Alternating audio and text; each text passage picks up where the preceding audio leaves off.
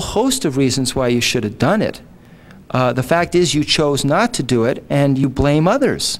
That is incorrect, and it's a misleading statement, sir. Okay, I beg to differ with you. Okay, wh- wh- where, where, y- you did try to stop it? In my judgment, the tool to wake up the Philadelphia Housing Authority, as you would say, was to suspend the CAP funding in 1986 to the tune of some 30 some odd million dollars. They actually requested substantially higher than that. That was a tool that I exercised and subsequently was brought before one of your former colleagues, Congressman Bill Gray, who asked me to explain how I could deny the residents of public housing basic funding such as CAP. Right? I explained it, and he concurred. Suspension of operating subsidy is absolutely not a tool that is available because it instantaneously, you're right, folks would wake up when the heat isn't on in February, they'll wake up. They may be dead by February 2nd, but that isn't a tool that we have available to us. Well, no, one of the things you could have done is make sure they did not get operating subsidies for units that didn't exist. But let, let me, let me uh, ask you something else. Did you have the authority uh, to at least recommend that this be taken over by someone other than the corrupt management that was operating this facility? I had that authority, and during that tenure, there were three executive directors during my time frame, uh, and substantial movement with inside the board. There was Garfield Harris, there was Gregory Kern, and John Payon came on just No, no, immediately after me. You and I know that when you take over a facility, you take away the authority from the board. The board is not Mm-hmm. without complaint here. I mean, I'm, you know, with all due respect, what we're talking about is not just an executive director. You know that, and I know that. It has a board, and we have testimony that this was a board responding to political pressures. We have a lot of, of, of testimony that documents that they were, they were not running this facility properly. Now, it's great to blame uh, Washington for this problem and to blame Philadelphia, but somehow I'm still grasping at wondering what your role was. Since you are here testifying, Right. that's what I'm wrestling And with. what I'm saying, what I'm sharing with you is that certain steps were taken to the best of my ability at the time in the power that was vested in me by the taxpayer and by the administration to take those steps as a civil servant. No, no, I didn't stop, have please the stop power. saying, please stop saying civil servant. Say what you were. We're all civil servants to the best of our ability. What you were was the director of the Office of Public Housing. That's what you were, sir. And as that's not a contradiction. No, it, it, but what it is is a little more apt description because we're all public servants. Okay. But you had the authority. You were the director. If, if I, if you would allow me at least a minute, I would be able to explain precisely what authority I actually had. Okay, I had the power to make recommendations to a regional administrator. right. I subsequently was vested with the power to sign off on budgets and comprehensive improvement assistance program funding. I exercised the power under comprehensive improvement assistance program funding in recognition of certain aspects, and the Inspector General, certainly if you invited him back, would testify to that, in, in recognition that certain aspects had to be addressed immediately. A task force was appointed in 1988 involving a number of civic leaders attempting to gain control of the Philadelphia Housing Authority. Taking over the Philadelphia Housing Authority was not an option to which I was able to address successfully with the HUD, the HUD secretary at the time. Okay, now I want to just pursue that Okay? because I'll just take your first power of recommendation. Did you ever recommend that, that you suspend this housing authority and you take it over? I recommended that the authority uh, scattered site units be taken over. No, just listen to my question. You can Right. answer other, otherwise. You can No, say I- no and then, but no, because the problem is you almost forget what my question is. My question is, did you ever recommend that HUD take over the Public Housing Authority in Philadelphia, this very corrupt organization? Did you ever make that recommendation? not to the best of my knowledge, that we take over the Public Housing Authority of the City of Philadelphia. I did not view that, in my best judgment, as a viable option at the time. Now, let me ask you why. I'll tell you why. I, I represent uh, nine communities. One of them happens to be uh, the community of Bridgeport. Uh, before I became a congressman, HUD realized, and it wasn't on the trouble list, I think, as long as Philadelphia, that it needed to be taken over. It was taken over and run by HUD. They ran it. The local housing authority had no authority. Then it was given back uh, to the housing authority and kept on the trouble list.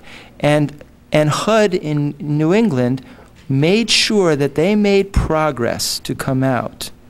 So I don't know what you were doing, but I know what these guys were doing when they were looking at the Bridgeport Housing Authority, and they did their job well. I salute the Connecticut uh, HUD, I salute the, the Boston HUD, I salute Washington HUD for taking over Bridgeport and cleaning it up. I don't know why you people didn't do the same for Philadelphia.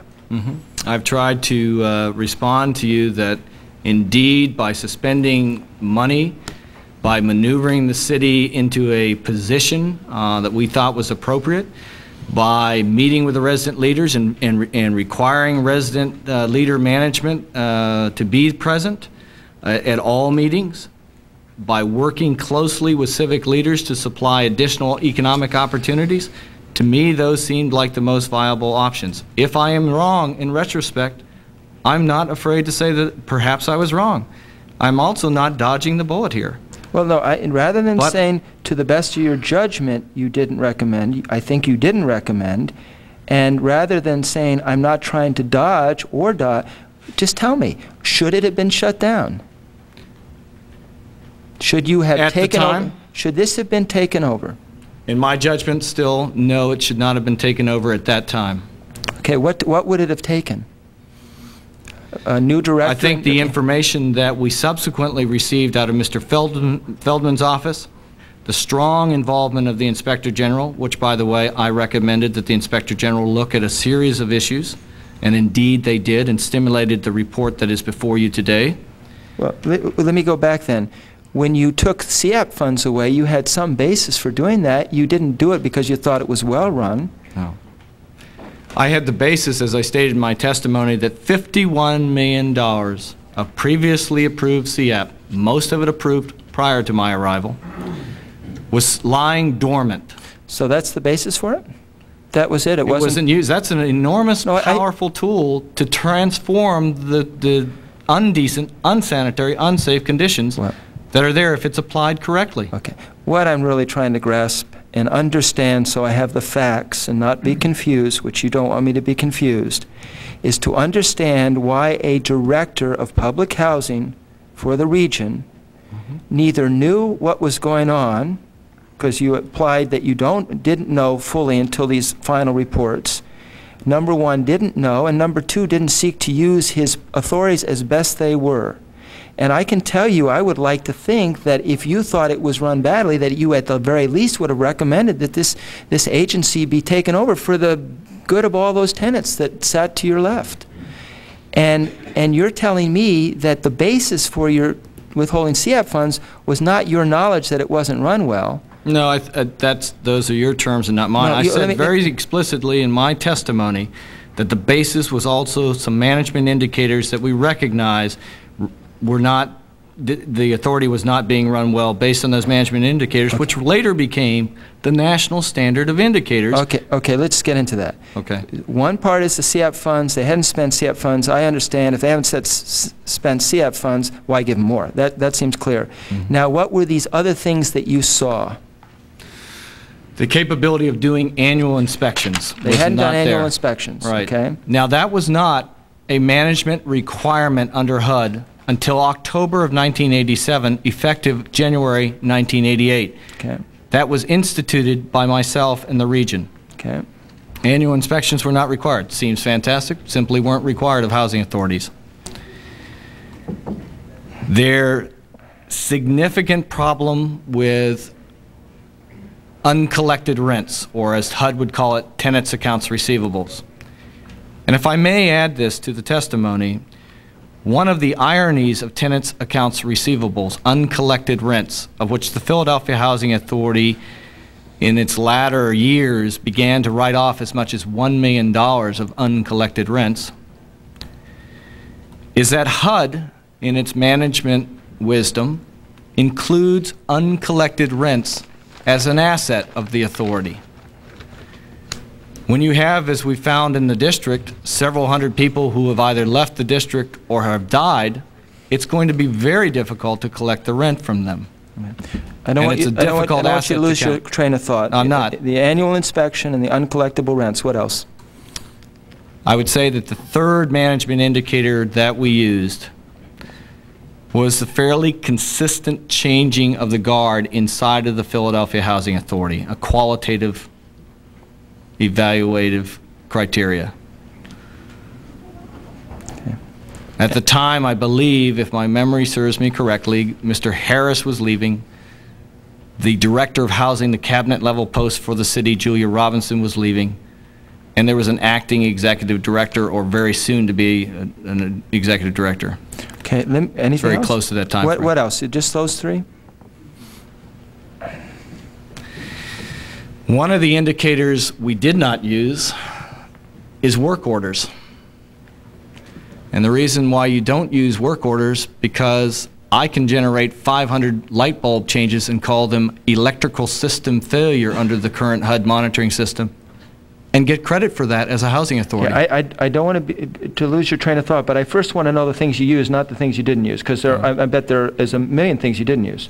What, what, what did you use? Annual inspection, uncollected rents, Mm-hmm. changing of the guard, what else? Status of the units They were that we had inspected, that the HUD staff had gone out and done a spot inspection of. Okay, I mean, just dealing with this issue, you didn't have to be a rocket scientist to know they were in pretty deplorable condition. Without a doubt. Okay. There So- were some, I, I would add, there were, when you do a random sampling of 100 and you turn up 99, that's fairly fantastic. Now, some of those failures, quite frankly, are light switches, um, an electrical outlet. Right. Others, 75% of them, as the IG showed and as our review showed, are so serious that it's fantastic, it staggers the mind. No, it, it, it does stagger the mind. It does. Uh, you got four. What else? That's what I used, No, to the so best of my recollection. okay. Plus the unobligated, unexpended position of the authority. In other words, the monies they The had. CAP money is $51 million, right? So, I mean, this tells you it's a, it's a pretty troubled uh, uh, authority. But there was, uh, what about the units that, that no one was in? Uh, What, I mean, we have, you do have a turnover documents talk about turnover. What, what was the problem there? In terms of vacancies? Yeah. The turnaround time is as, is as tied to adequate annual inspections and a coordinated management information system, which is reflective of all those turmoil that was going on in the organizational structure, of getting a computerized system that tells occupancy when, when someone moves out, that the project site manager tells the occupancy people No, you're, you're telling me something that I didn't ask, and, and, and you're free to do that, but, but it, tell me this. Why didn't you use, or, because you, you said you stopped at five, why didn't vacancies come in here? Why, why weren't vacancies an issue? There were a lot of vacancies. There were a lot of vacancies. Yeah, and you knew that. Absolutely, and I, and I would say that, I would probably say that I'm, I would say, I'm staying corrected. We always look at vacancies. Those are a normal Okay, so vac- pattern. vacancies would be number six in this list. I mean, you're getting, Certainly. you're getting to, to a, a pretty impressive list of why maybe this should have been taken away from the housing authority. And, and let I'm me not just. so sure I'm getting to that list. No, no, you are. You are, because you, with, with, with some help from your friends, you're, you're, you're getting, you've given us six reasons the annual inspections Mm-hmm. admittedly weren't happening, but not a requirement. Uh, uncollected rents was very high. The changing of the guard was happening quite often. Uh, the status of the units was pretty deplorable. Uh, CAP funds had not been spent and other monies, and, and large vacancies. Was there anything else? Not to the best of my recollection five years Now, ago. Should the Secretary of HUD known about this, or should you have known about this I made recommendations? Pardon me? Okay, First of all, I did know about Okay. it, and I acted upon it by suspending $34 million. No, that's the, that's, you've said it a hundred times. I know you did that. I am, I am relatively impressed, but not very impressed. Mm-hmm. And the reason I'm not very impressed is they didn't spend some of their money in years before that. That, that, that's why I'm not as impressed. I Mm-hmm. mean, even if you didn't have all the other reasons, the CIAP, the fact they didn't spend CIAP funds would tell me, why do they need more when they already have money they haven't spent? Mhm. So, no, I don't, I don't give you a lot of credit for that, with all due respect. I'm not asking for No, but, but you, no, you are, because you keep bringing it up as if it's a major, major thing that you did. I'm bringing it up because if you look at the pattern of HUD action during the same time frame in which there were similar problems elsewhere, that indeed the suspension of CIAP was a very aggressive posture at that time. Okay, uh, you've made that point to me, and I understand that you think it was a major event, that you did that. What I'm still wrestling with is the fact that we had a housing authority that went from bad to worse, and you condemn the housing authority and you condemn people uh, following you, and somehow I'm trying to understand the importance of, of a position that you hold, which is the regional director of the Office of Public Housing. Um, and, and I'm just trying to understand its relevancy in terms of dealing with this problem. Uh, you don't think, you've testified, you don't think you should have, should have taken over the housing authority, or at least recommended, that was a power you had. And I am really wrestling with why you didn't think that should happen, Okay. given these things you've stated to me. I had the recommendation power to take over the authority. In my judgment, at what I knew, and hindsight is always 2020, with what I knew absolutely concretely at the time, that the action that we took in the region was appropriate. I did state that I had recommended that the scattered site units, which are where the bulk of these missing 500 units are, be under a different authority. Mm-hmm. And at the time of the funding of the Southwark project, that a special master oversee Southwark, because it was the largest single investment that was going to go on. So those are two fairly specific facts. Well, I- I- I'll just conclude, uh, Mr. Chairman, by saying, one of the things that amazes me, and it may be, it may be HUD down in, in, uh, uh, it may be the regional office, it, um, do they, is there a state office like we have in Connecticut? No, sir. They're Okay. just field offices and regions and, Wait, was there a field, but uh, the field, so the, fi- we call it a state office. In Connecticut, the field office is Hartford. What would be the field office for Philadelphia? um, they were co-located at the time. It- It was located in the Philadelphia, and I over, there was an assistant you- housing so manager. you oversaw that person? Right. Essentially, the Philadelphia Housing Authority was under the field office, which reported up to me. So unlike the case of Connecticut field office, where you had a layer in Hartford and one in Boston, it was the same place. Right. So we Unfortunately, in the bureaucracy, you had the same layer in terms of staff people, but yes, sir, it was in, it was located geographically precisely in the same building. Well, I, I, it- what I'm going to be wrestling with, and I'll be asking the, the Washington uh, group as well, is, is why wasn't this place shut down? A new authority uh, and, and new management put in place. And um, I, I guess I'm left with a feeling, uh, with no disrespect to you, that, that, that you had a role to play in, in seeing that that was done and chose not to as a public servant, as you say, but uh, I would say as the director of the Office of Public Housing, you, you had a little knowledge. And that knowledge would have been helpful for people in Washington to make sure they had as well, uh, uh, knowledge and recommendations. Mr. Shays, may I Sure. just respond? I had recommended in 1987 that the District of Columbia's public housing be taken over. Mhm. That recommendation caused a tremendous furor in the department and subsequently was rejected. You know what? I, I think that's important to know, and I congratulate you for it, but the fact that, that there's a furor uh, because you recommended it is, what's the relevancy of that to me? Um, Is that saying shouldn't relevancy is I can't override No, but the it's not- folks who said no. Yeah, but it's not to say you shouldn't have done it. No, because in my, in, I had more evidence that the district, for instance, the example, that the misuse of a computerized system to generate voting uh, uh, populations for the incumbent mayor, that the system itself was run with reckless abandonment. Yeah. But it seems to me they both were candidates for that. Thank you very much. Thank you. Thank you very much, Congressman Shays. I want to thank you, both of you gentlemen. If possible, I'd like to ask you to uh, stay around because we may have additional questions of you following the next panel. Um, our next panel consists of uh, Mr. John Payon, Executive Director of Philadelphia Housing Authority, Mr. Jonathan A. Saidel, Chairman, Board of Commissioners, Philadelphia Housing Authority.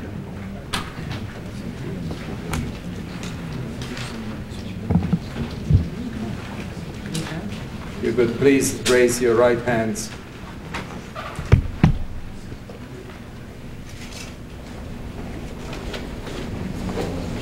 You solemnly swear that the testimony you're about to offer is the truth, the whole truth, and nothing but the truth.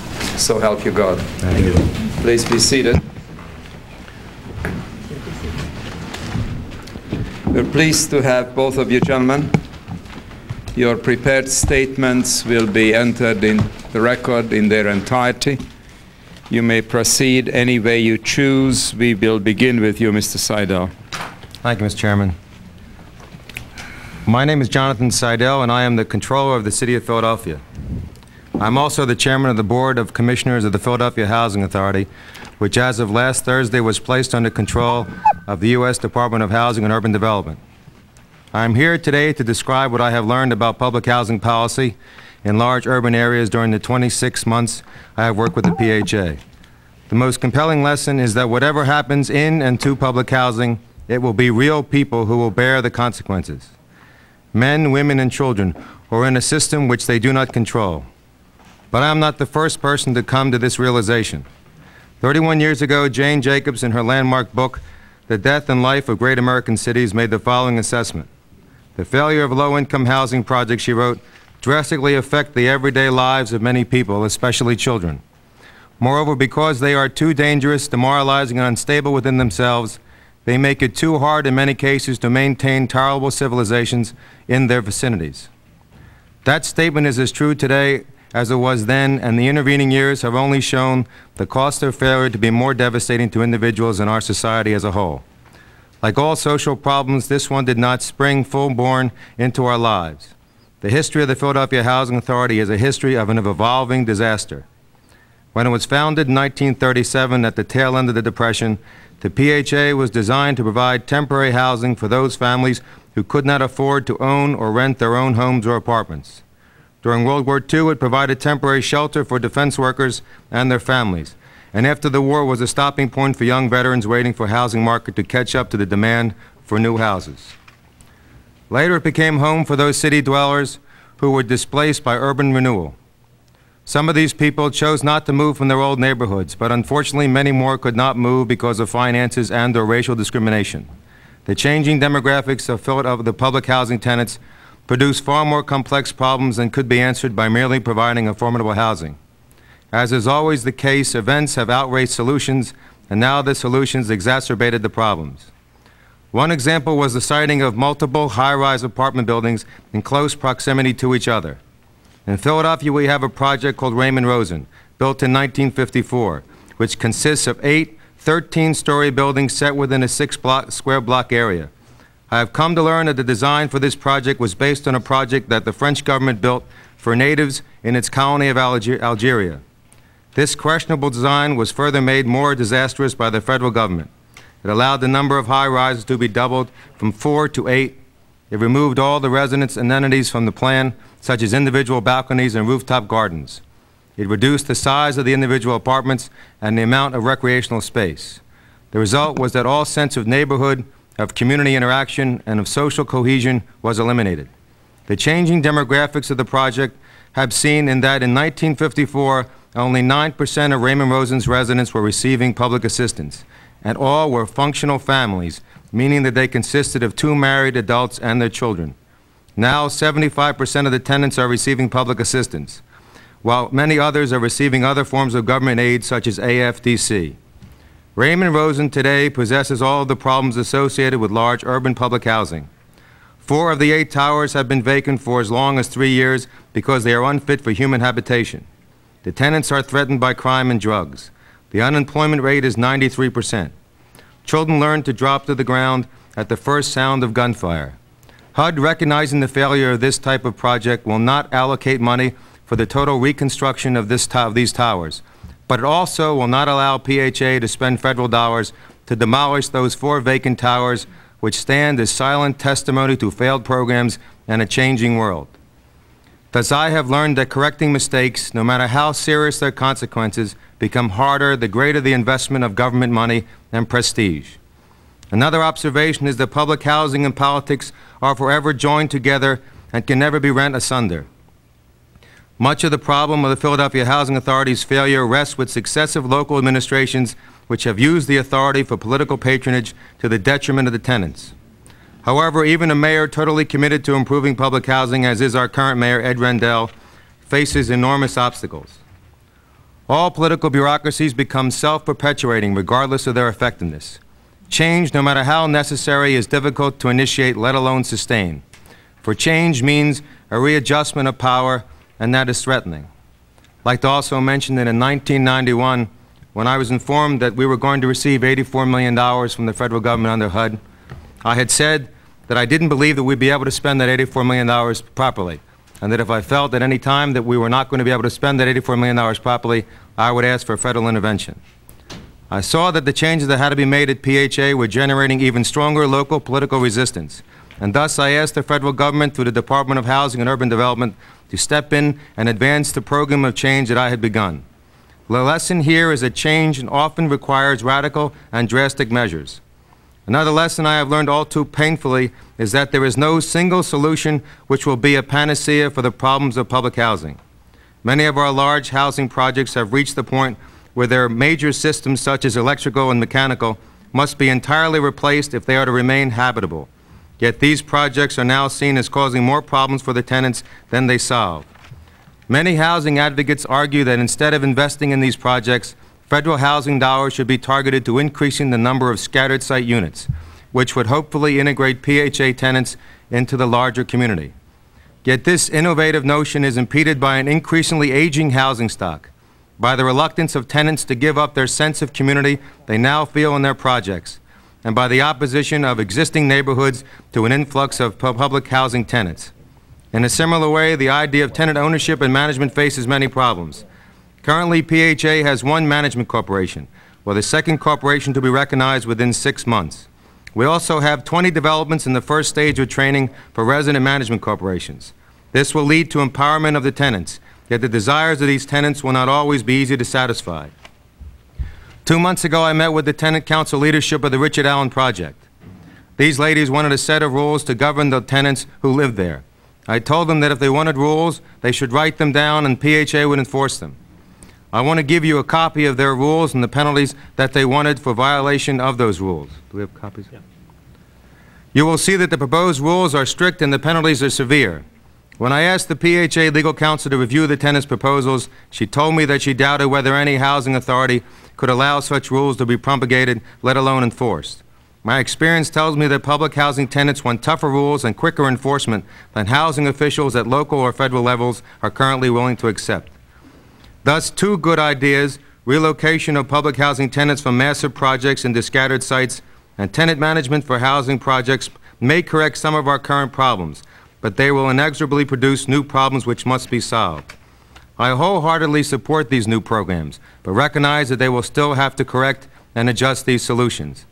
My final observation is that the whole subject of public housing needs to be rethought, and these needs must be done quickly. The condition which gave birth to housing authorities no longer exist. New, more terrible conditions which were not even dreamed of as little as 10 years ago. We need to have everyone impacted by these problems thinking and implementing new ideas. I personally favor programs which will allow current public housing tenants to move out of the projects for homes in the private sector with the government making up the difference between what the tenant can afford and what the home or apartment costs. Such a plan will reduce the administrative costs of public housing and eliminate the social stigma attached to residents of public housing. It will also get government out of what should be a private sector business. Thus, I believe that even more necessary for HUD to grant housing authorities greater flexibility to experiment with new programs. This means that the rigidity of regulations designed with the best of intentions must be relaxed. Many may say that this will allow corruption and ineptitude to flourish. These problems are inherent in any undertaking designed by man. We cannot, however, allow the lives and futures of so many Americans to be put at risk by our failure to explore new ways to help them. We must constantly encourage and assist all those individuals and agencies which seek to improve public housing. We must hold them to a single, understandable measure of success. A standard is the lives of the tenants are improved by what is done. This is the only standard that counts, for it is the only one which helps people. I thank you for the opportunity for reading that statement into the record. Well, we were pleased to listen to the statement, Mr. Saidel. Let me just say that you barely touched on the subject of this hearing, which is the disgraceful condition of uh, the Public Housing Authority of the City of Philadelphia. It was interesting to hear your philosophical observations. Well, I Uh, think, but it, allow me to finish my sentence. But it did not contribute to any extent to our understanding of uh, the disgraceful situation in Philadelphia and the attempts to deal with it. So we will get to that in in our questions. Mr. Paone. Thank you, Mr. Chairman. Good afternoon. Mr. Chairman, my name is John Paone. I am the Executive Director of the Philadelphia Housing Authority and was appointed to that position in May of 1990. I would, f- I would Would like... you be so kind and outline for us your previous job history? Yes, um, from 1972 to 82, I was an employee of the City of Philadelphia in the Office of Housing and Community Development as a civil servant, starting as an administrative intern and leaving as the senior housing manager for the city.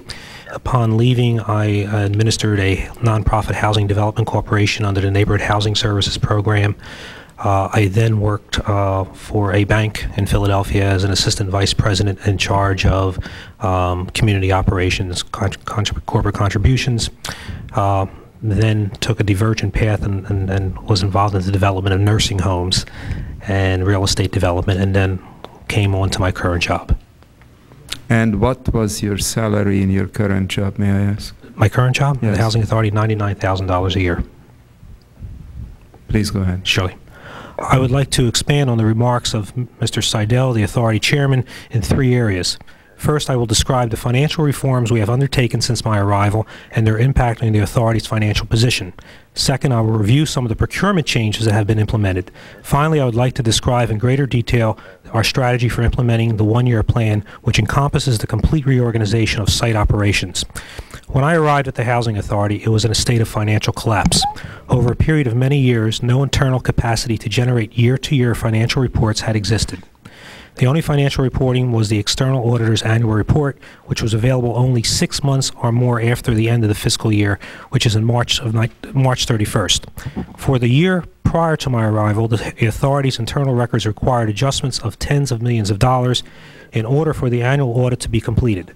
This lack of internal data assured mismanagement of resources as there were no internal reports and managers had no way to evaluate the, the authority's financial operations on a month-to-month basis. This situation was mirrored in the authority's dire financial situation. In the fiscal year ending March 1989, the operating deficit was over $7 million. While some improvements were registered in the year ending March 1990 when the deficit was $5.4 million, the authority's overall financial position was still deteriorating. Turning this around became the top priority in my first year in office. We initiated internal financial controls, enhanced the accounting system, and by the end of 1990, were generating monthly financial reports. These allowed us to move, move closely, more closely manage the day-to-day operations, which we are also undergoing some review and streamlining, so that our financial position improved appreciably by the end of my first year. After only one year, we had op- an operating surplus of over $1 million compared to the previous year's loss of $5.4 million. Can I'm- you tell us how you achieved this uh, apparent That, that, six and a half million dollar turnaround? that was achieved by a early retirement program in which we uh, encouraged a number of employees to How much of the six and a half million was due to the early I would retirement say program? uh, probably about half of that. Half of that? Half that. Which placed then a heavier burden on your retirement fund, didn't it? Yes, sir. Our our So this is not really a matter of operating efficiencies, but this is a matter of dumping some employees onto No, the I- I- retirement. I don't think so, because Well, I think you just testified to that. that we, as one of the strategies in order to deal with the deficit, and any man... I'm not questioning the wisdom of the strategy. As a professional economist, I would like to identify what accounts for the $6.4 million turnabout. Approximately half And you just testified a moment ago that about half of that was the result of encouraging an early retirement correct, program, sir.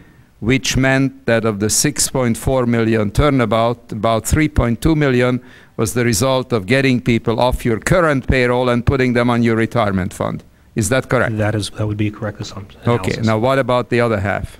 The, the rest of it came through operating um, uh, ex- uh, efficiencies. uh, Well, every- give, give us, Everything from, instead of an employee changing a flat tire, which required four, four hours of overtime, we contracted with AAA for $27 a year for each car, and AAA changed the tire. Um, Those, uh, a whole, an a whole series of those efficiencies. I also have, if I may, and well, how many, ov- how many tires were changed Well, I at mean, the I- rate of $4, uh, four I- hours I'm of giving, I- I'm? I'm sorry, I'm just giving you one, one Well, I'd like some more meaningful examples that I can grasp. Okay. um, We are looking at we cut- $3.2 million. We cut, we cut down significantly in overtime. Our overtime budget was approximately one and a half million dollars. Uh, we reduced that to about eight hundred thousand dollars. All right. We. uh, Now we cut- are, now we are Okay, we cut down a number.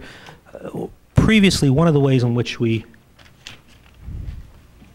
one of the ways in which we um, dealt with maintenance was through a system of contract maintenance in which we went out into the open market on competitive bid to bring contractors in from the outside to do maintenance on housing authority properties.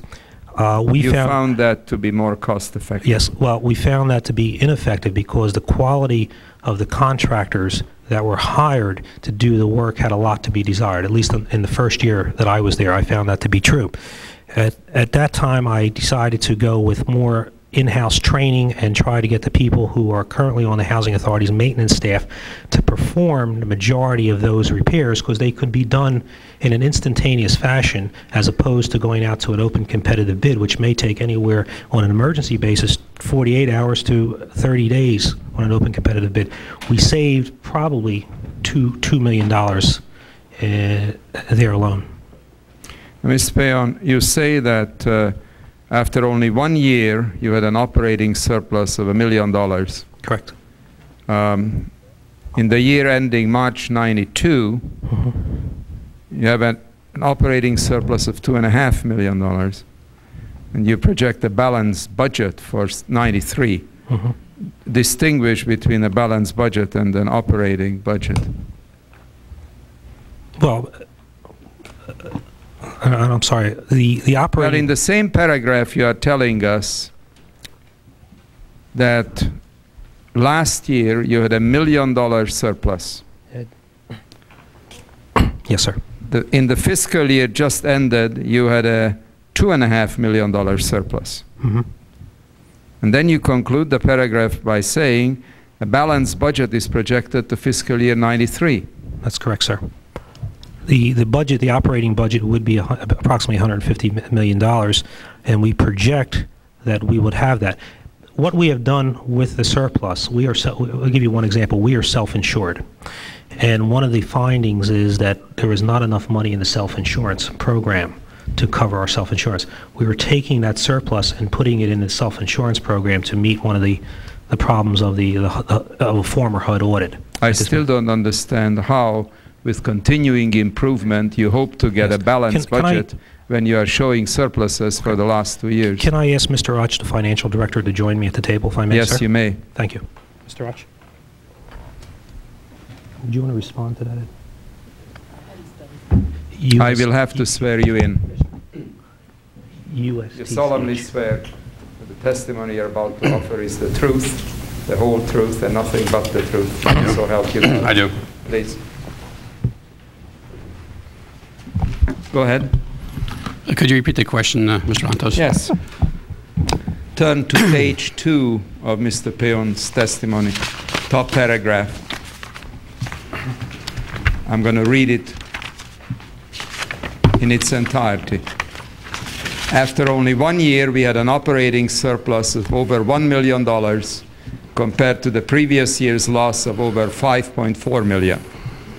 I'm happy to report that this year, ending in March 92, we have at least a two and a half million operating surplus.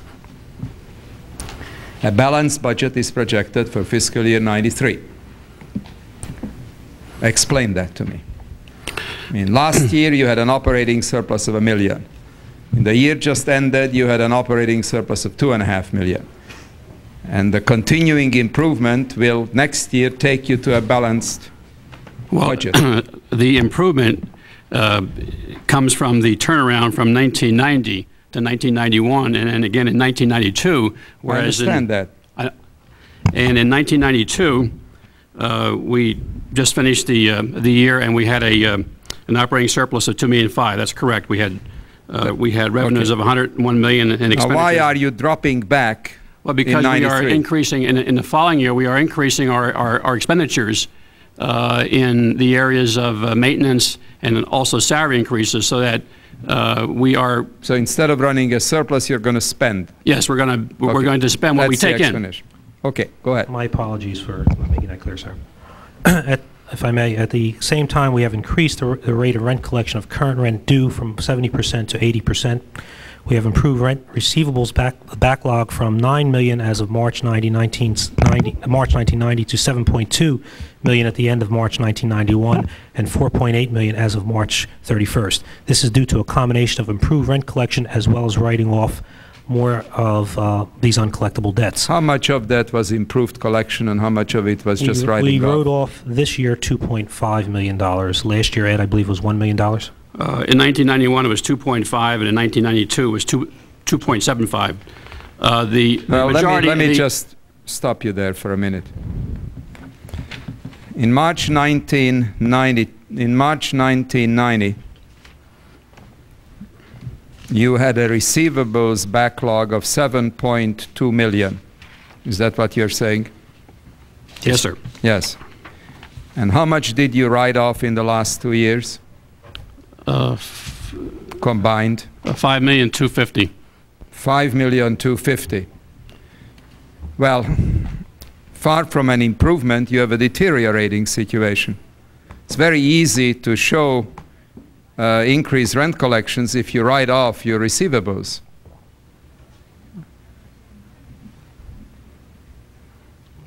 Am I correct or am I Uh, wrong? If if I can respond to that, uh, uh, the, the actual collection process of receivables is improving.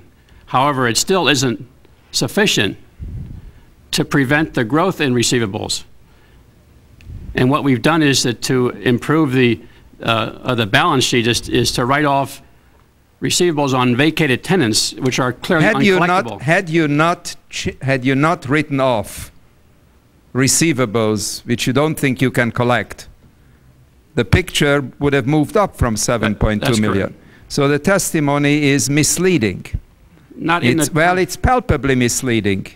You are patting yourself, uh, you are patting yourself on the shoulder, saying that um, rent receivables backlog went down from 7.2 million to 4.8 million, but it went down because you wrote off 5.2 million dollars. I mean, you are free to testify to this effect, but you are not free to praise yourself for this. Okay. Am I clear? Yes, you are, sir.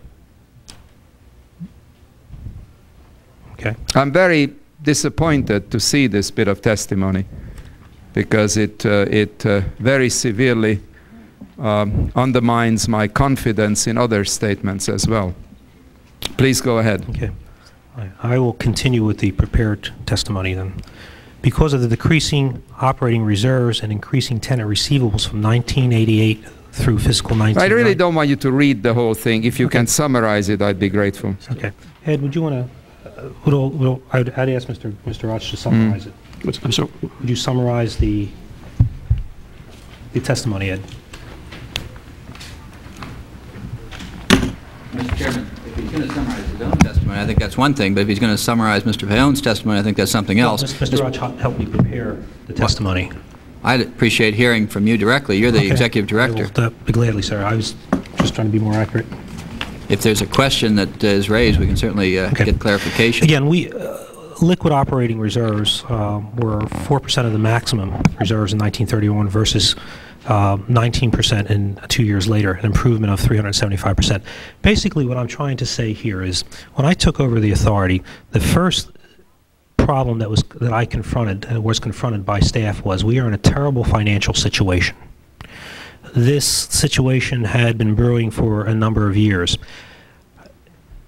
And the first actions that I had to take as executive director were to stabilize the financial condition of the housing authority, to get my financial house in order first. At the same time, deal with enormous amount of other problems that presented itself. What I was trying to do here is, quite frankly, just tell you the situation as I saw it in May of 1990 and the actions that were taken to do that. Yes, I believe that we have made progress financially over this. Mr. Chairman, I, I, I, I respect your comments, but I was not trying to patronize myself or pat myself on the back. I was trying to say the difficult situa- situation that the Housing Authority and both myself and Mr. Saidel found ourselves in 19... No one questions the fact, Mr. Paone, that you found a disgraceful situation when you came in.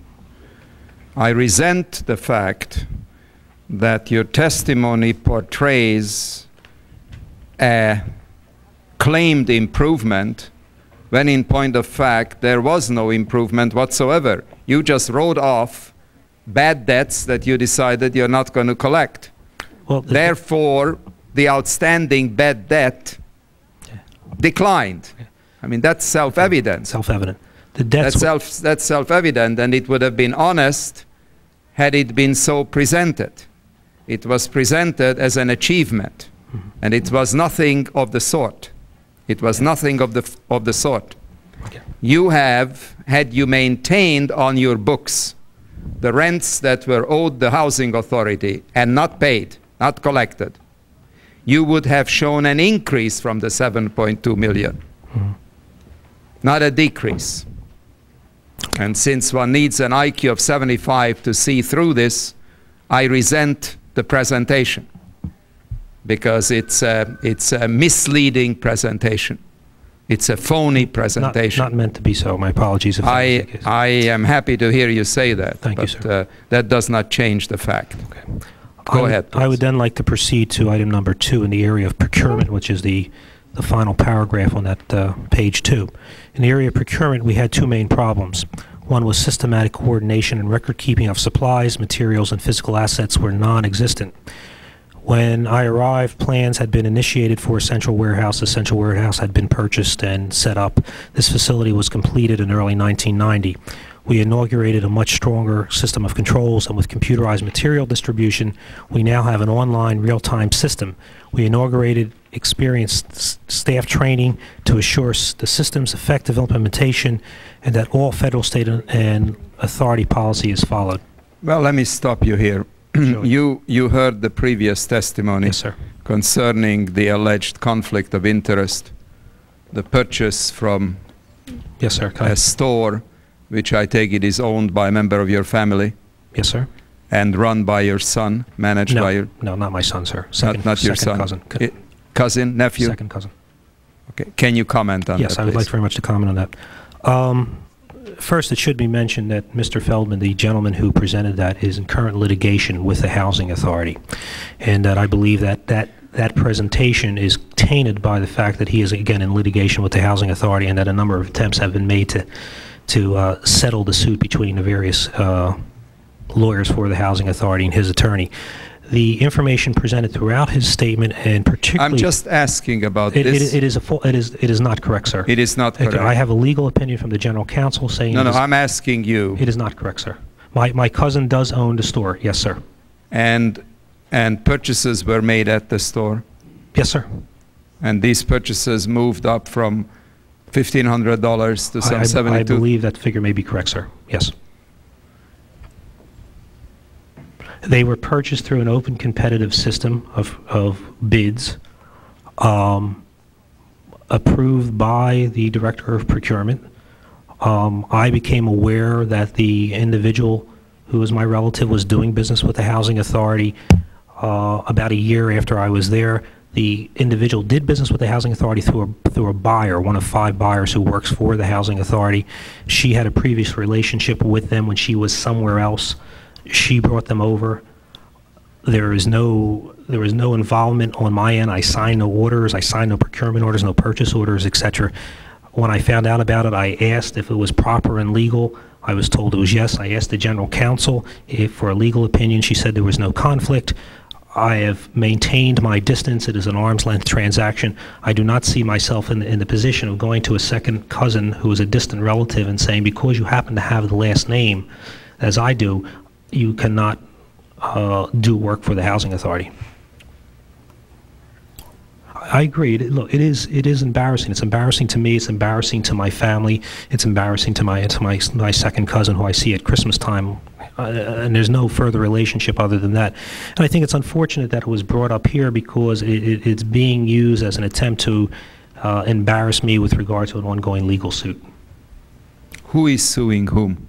Uh, Mr. Feldman is suing the housing authority Because of his of his layoff.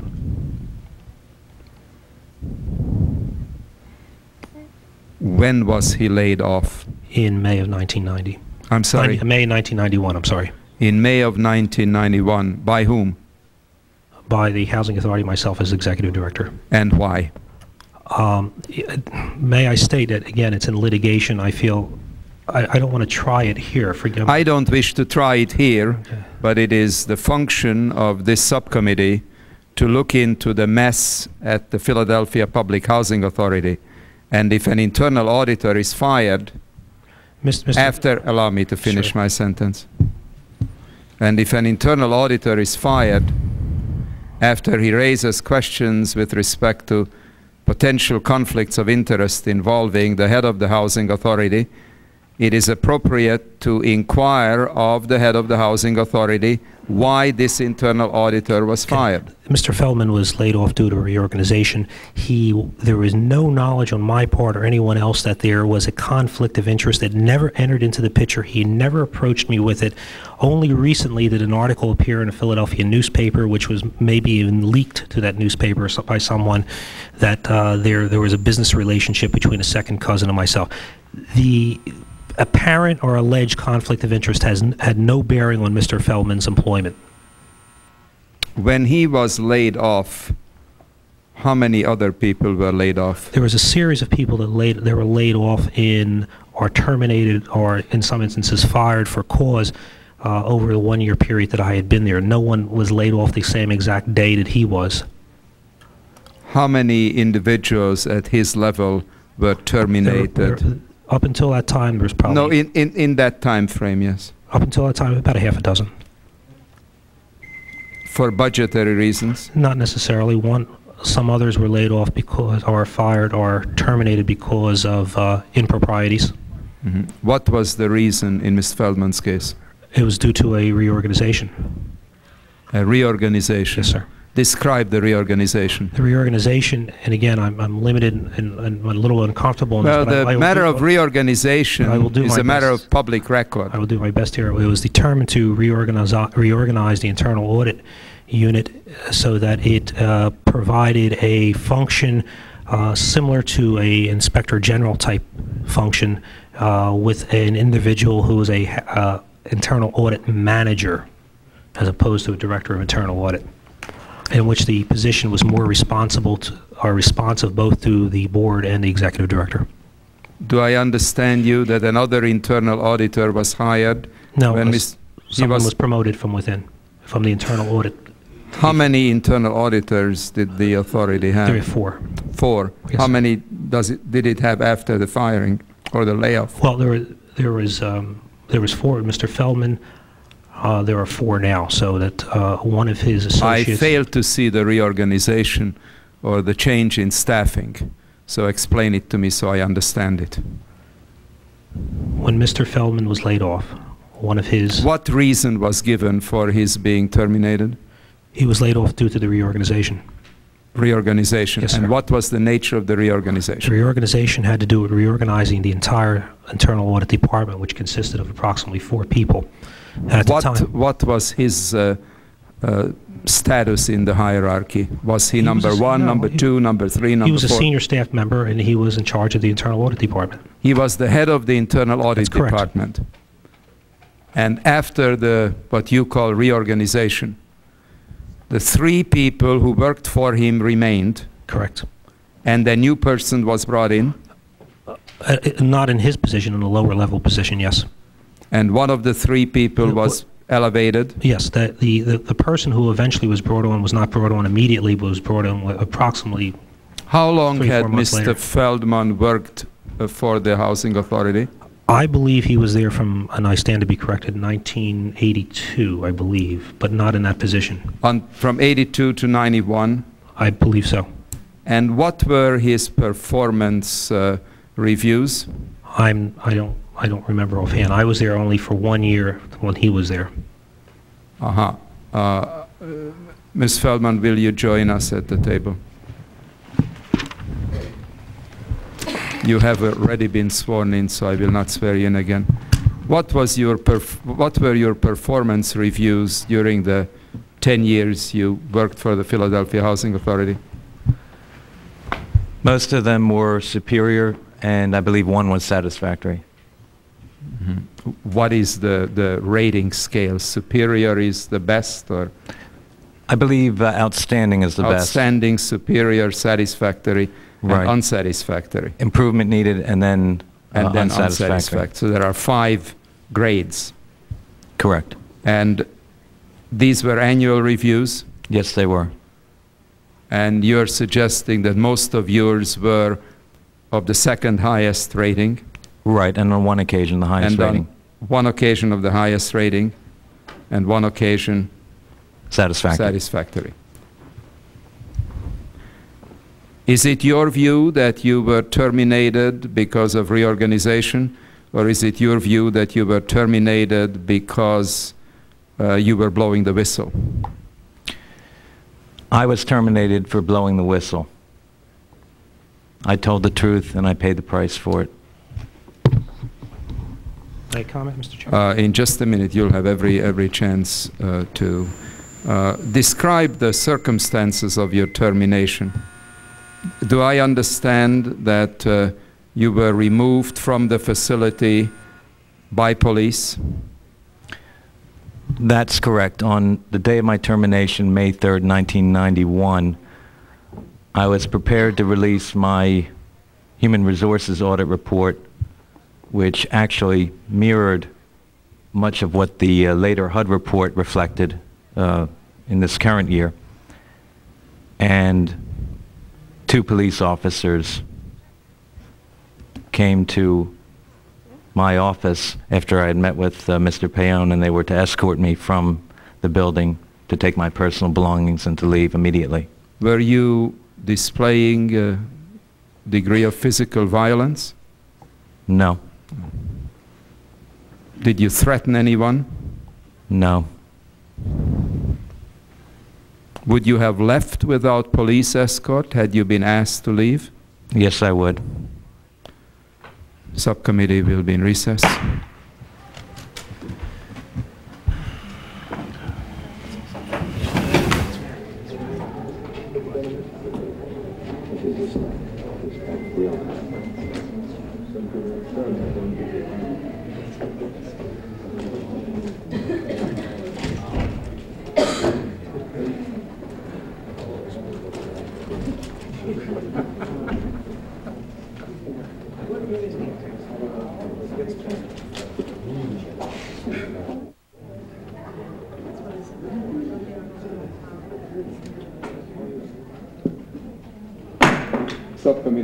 Resume. You were going to say, say something, Ms. Paone. Um, I, I- I'm, I'm not prepared to continue. um, I'd be grateful if you'd pull the mic. I'm sorry, sir. Sure.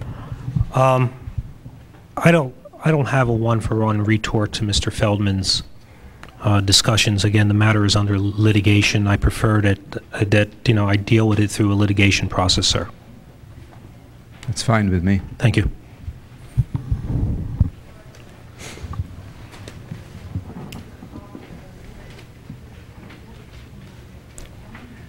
The, go ahead. Do you, I have, uh, should I continue with the Please prepared testimony? continue, yes. Thank you. The, the final aspect of the prepared testimony is the adoption and creation of a one-year plan at the Philadelphia Housing Authority.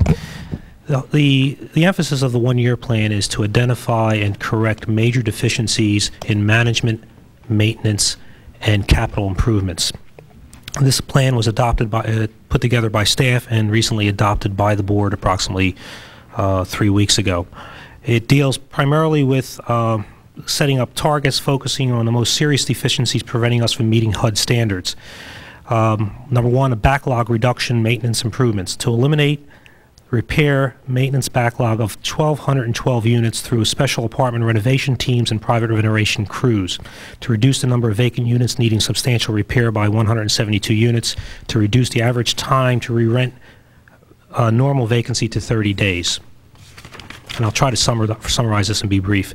To respond to emergency repair requests within 24 hours, to achieve 2% or less vacancy rates in the occupied developments that do not need substantial renovations, to present a plan in 90 days regarding distressed uh, D-level scattered site housing rehabilitation and management. D-level is the worst level of scattered sites within the scattered site environment in the city. Uh, capital project streamlining to reflect private construction management practices for better project control and efficiency through new proj- project management system, to increase the rate of obligation of federal modernizations funds by 100% by obligating at least $40 million towards approved project activity, to improve the rate by which HUD reviews and approves requests for improved communication uh, by commu- improved communication attention to HUD concerns, reorganization to achieve a higher performance standard, streamline central management, to imp- implement site- site-based management, including budget control and accountability, encompassing all functions at the conventional site level, to create new job descriptions within 90 days, to evaluate and replace people who do not meet performance standards within 180 days, to create internal controls and hire an inspector general within 120 days. Um, I personally remain committed to continuing the process of improvement at the Housing Authority, a process that has been difficult but has taken place. I thank you for the opportunity to present this presentation. Thank you very much, Mr. Paone. Let me just wrap up uh, the aspects of uh, um, Mr. Feldman's termination, which do not have uh, uh, ramifications with respect to your lawsuit. Uh, was he paid by federal funds? Yes, he was. You know, this committee has jurisdiction over federal employees, uh, so I have great interest in, in uh, Sure. uh, problems of uh, federal whistleblowers, Mhm. and we have had uh, number, numbers of hearings on this, and may in fact have to have a hearing on this issue. Um, were you his superior at the time he was terminated? Yes, I was. Did you order his removal by police? No, I did not. Who did? No. The, again, the instance as it occurred, uh, the Philadelphia Housing Authority has its own police force, the housing, housing police force. And what uh, I had asked one of the officers to do was to keep an eye and make sure he took no pers- no authority documents. He was the internal auditor. He had access to what could be considered sensitive documents. That would be, uh, it was more of a standard operating procedure and precaution than anything else.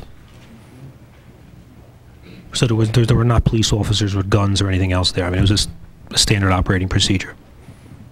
You mean when you terminate an employee, you have the No, no. police? Let me finish, please. We are very much concerned on this committee with the dignity of every individual surely. who works for the federal government or who is paid with federal funds. Was there any indication during the course of uh, Mr. Feldman's uh, uh, employ with the Philadelphia Housing Authority that he was removing documents uh, that belonged properly to the authority? I don't know if I can comment on that, sir. Well, I'm asking you Uh, to there comment on is that. there is a series of ongoing federal investigations, and um, I don't know if I would by commenting on that, violate any laws of secrecy that I've been asked to uphold. Well, let me rephrase my question. You had reasonable doubt to assume that he might remove documents And that is why the involvement of police was called by you?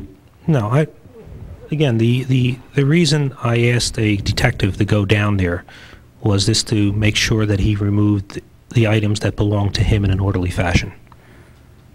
Well, you're dealing with a 10-year professional employee. Is that correct? I believe he was there for 10 years, yes. Yeah. And he was a professional employee involved with uh, serious and confidential matters as the head of the internal audit unit.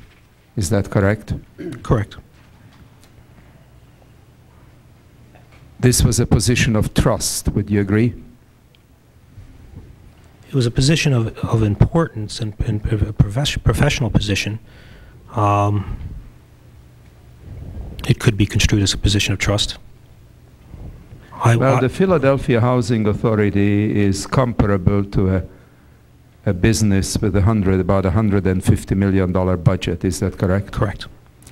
Now, if I appoint you as head of the internal audit unit of that $150 million corporation with 1,700 employees, some 20, how many thousands of housing units?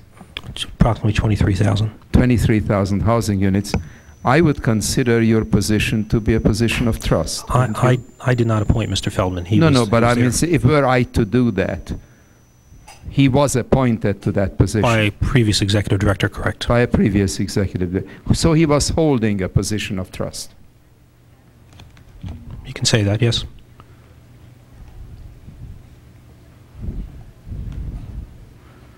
Under those circumstances, I think you'd have to explain to me one more time why the involvement of police is necessary Well- during the, the time of his termination. When someone is laid off, you never know what the reaction of that individual may be. You can take it very quietly, or you can get very angry. And I've not at the house. During those 10 years, to the best of your knowledge, has he threatened fellow employees? I'm not aware that he has. Well, let me ask you, Mr. Feldman, during the 10 years that you worked for the Philadelphia Housing Authority, did you physically threaten any of your fellow workers? No, never. Go ahead, Mr. Paone. I've concluded my testimony, sir. Uh, That's the- right, and I'm review. asking you questions. Did, Okay. uh, yes.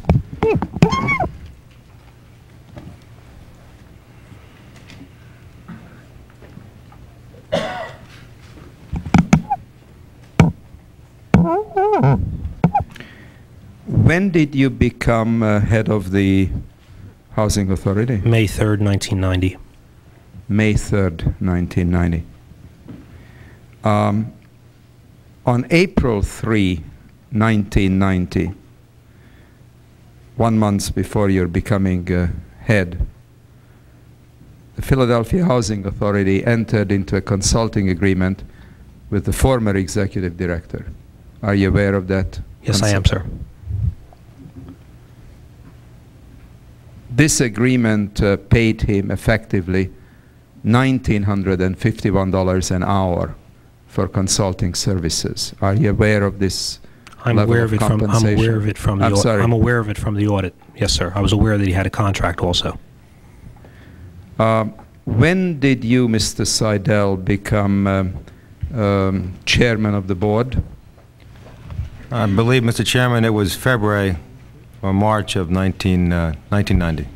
February or March of 1990. That's correct. Um, as chairman, were you aware of this consulting agreement with the former executive director?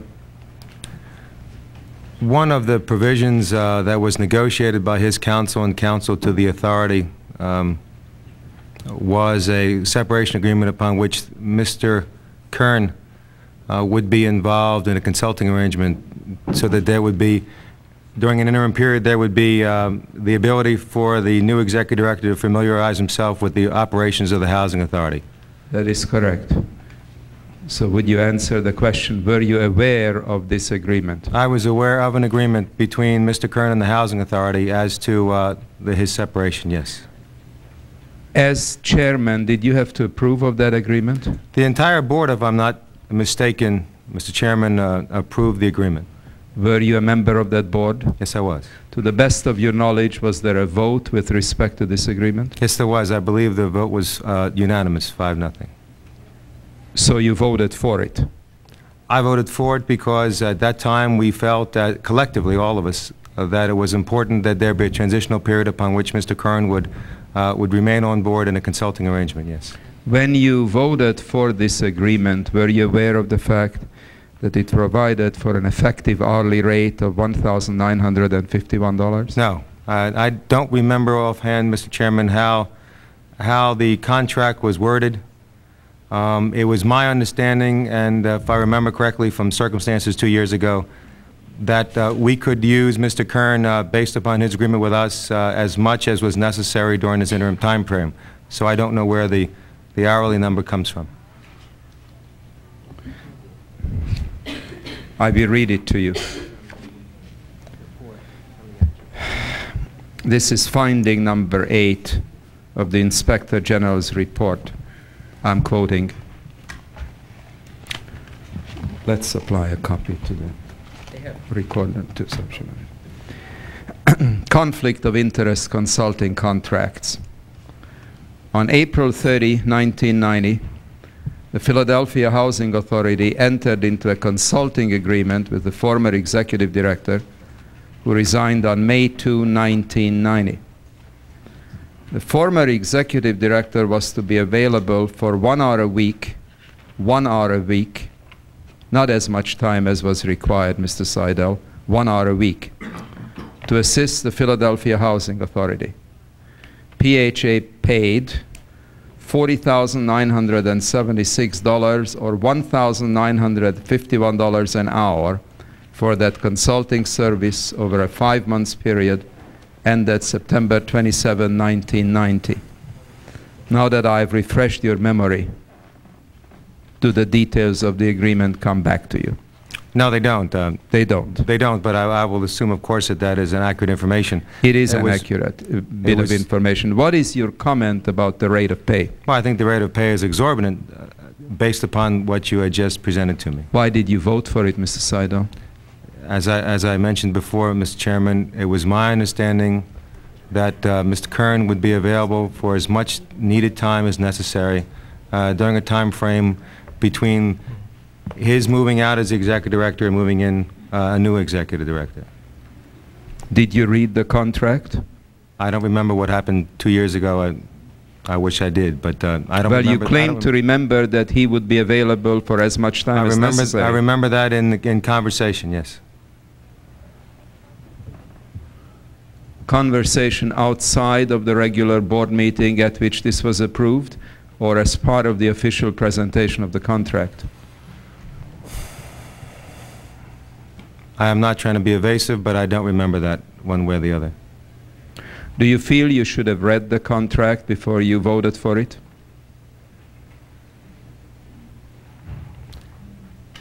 It was our belief, because it was a collective decision, um, that what was being done in the best But each interest- individual had his or her own vote. So let's leave the collective decision out of it. Everybody, you could have voted against it. I mean, the vote you tell me was five to zero. It could have been three to two or four to one. Couldn't have been. So I am merely holding res- you responsible for your own vote. And it was my decision at that time to vote in favor of the contract because I felt that the removal of Mr. Kern was in the best interest of the Housing Authority at that time. Why? Because as I, as I believe 26 months later, um, that there has been a series of problems at the Housing Authority, and I felt at that time that there was a need for a change at the top, and hopeful that that would lead uh, to changes in middle management and then move forward in a comprehensive fashion to be accountable uh, to the tenants of the Housing Authority. Your, your assumption, therefore, is that Mr. Curran, is that the gentleman's name? Yes. Mr. Curran did not shine as a director. His performance was not outstanding. No, it was... That's why I you voted. Sorry? Yes, that's true. How would you characterize the quality of his performance? I would characterize the quality of his performance based on the product of what I saw when I ran for office as city controller of Philadelphia as being deplorable. Poor, Yes. deplorable, they said. Well, if somebody's performance is deplorable, why do you give him a contract that pays him $1,951 an hour? Again, I can only reiterate what is my recollection from past events, and that was that I do believe that Mr. Kern spent certainly more than one hour a week, or I don't have a copy of the contract in front of me. Whatever that was, I know he spent more than one hour there uh, to help us during our transitional But the time. contract called only for one hour availability. I think the contract, uh, looking back now, I think that if that was, if that is the contract that was voted on, then I believe that that was incorrect and, and should not have been done. But it was my belief at that time that it was in the best interest for the tenants of the Housing Authority that Mr. Kern be removed, uh, that he move on, and that during the transitional phase that he be available to help us uh, in it, so it would be an orderly transition. A cynic might say that this was a payoff for him to leave. A cynic might say that. You don't think the cynic would be correct in saying that? No, I think that the responsibility um, rests with what, at that time, was in the best interest of those people that you're trying to help. And I- again, I can only reiterate that at that time, I felt that the removal of Mr. Kern was in the best interest of the tenants of the Housing Authority. and Could he have been terminated without this contract? I don't believe that he was under contract at that time, and therefore, wh- whatever the policy, employment policy was at that time, he could have been terminated, yes. So this was a voluntary action by the board.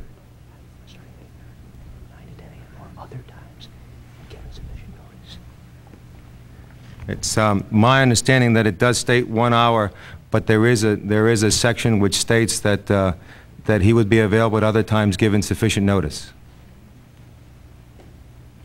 Because I do, want- I do remember being, meeting with Mr. Kern several times during that time frame that was certainly beyond one hour per week. May I ask you if you were involved with the termination of Mr. uh, Feldman?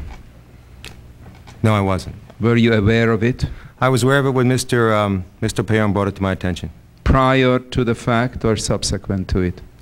Um, That he, that, no, Mr. Paone had stated to me that he was uh, uh, contemplating the dismissal or method of reorganization o- of the internal uh, division, and, um, and I said it, again, I never dealt with the individual day-to-day operations of the Housing Authority, but it is my belief as the Controller of Philadelphia that what was necessary at PHA was that we create an Office of Inspector General, which would have a three-year contract and report directly to the Board of Commissioners, and that is part of the one-year plan, which was begun uh, to be formulated about four, about uh, nine months ago.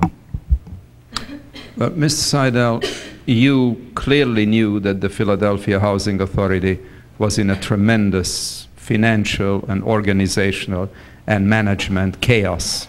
Yes. Um, Under those circumstances, one would think that an, in, an internal audit unit assumes extraordinary importance. Yes, assuming that I had, uh, that I believed that the individual as the director was a trusted employee. At that time and before, a number of months before that, I began my own investigation as the controller and sent my own team of people in uh, because it, quite frankly, it was difficult for me to trust uh, what information was being supplied to me uh, by the internal workings of the authority. By the director or by the internal audit Just unit? by general information, I wanted to make sure that the people that were supplying me information that I knew were completely without agenda. And the only people that I knew that were completely without agenda were the civil servants that worked for me as the controller of the city of Philadelphia. And I had sent them in in the early part of 1991 uh, to do an independent investigation on my behalf.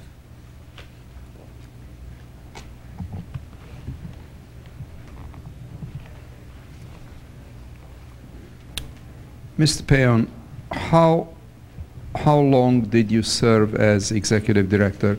From when to when? May, April 3? Eight, I'm sorry, May 3rd. I'm sorry, 19 May 3, 1990 to present. May 3, 1990 to the present. Correct, sir. Now, you are aware of the fact that the Inspector General claims that during the period of your service,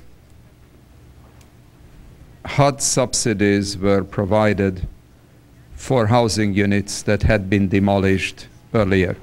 We're, we're talking about the 495 houses that was mentioned earlier, and that is an audit finding.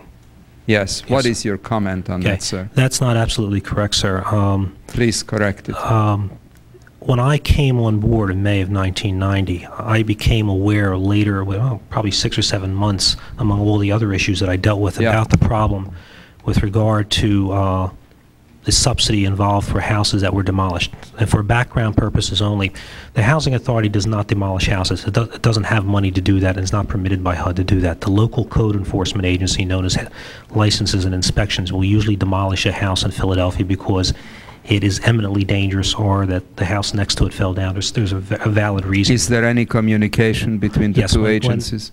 when L&I does that, it usually, usually does that on an emergency basis and then notifies the housing authority afterward that has demolished the house. There is no eminent domain involved. The house, the code enforcement agency has the local power to do Okay. that without uh, eminent Okay. domain. A, and this is historical. A, a notice is usually sent, and from what I understand previously, the notice would be sent to the various field offices of the housing authority. And again, the houses we're talking about are scattered sites; they're not conventional sites Yes. and that field office would then forwarded to the central office. The central office would then record it and send a notice to the Department of HUD in Philadelphia, the regional office in Philadelphia.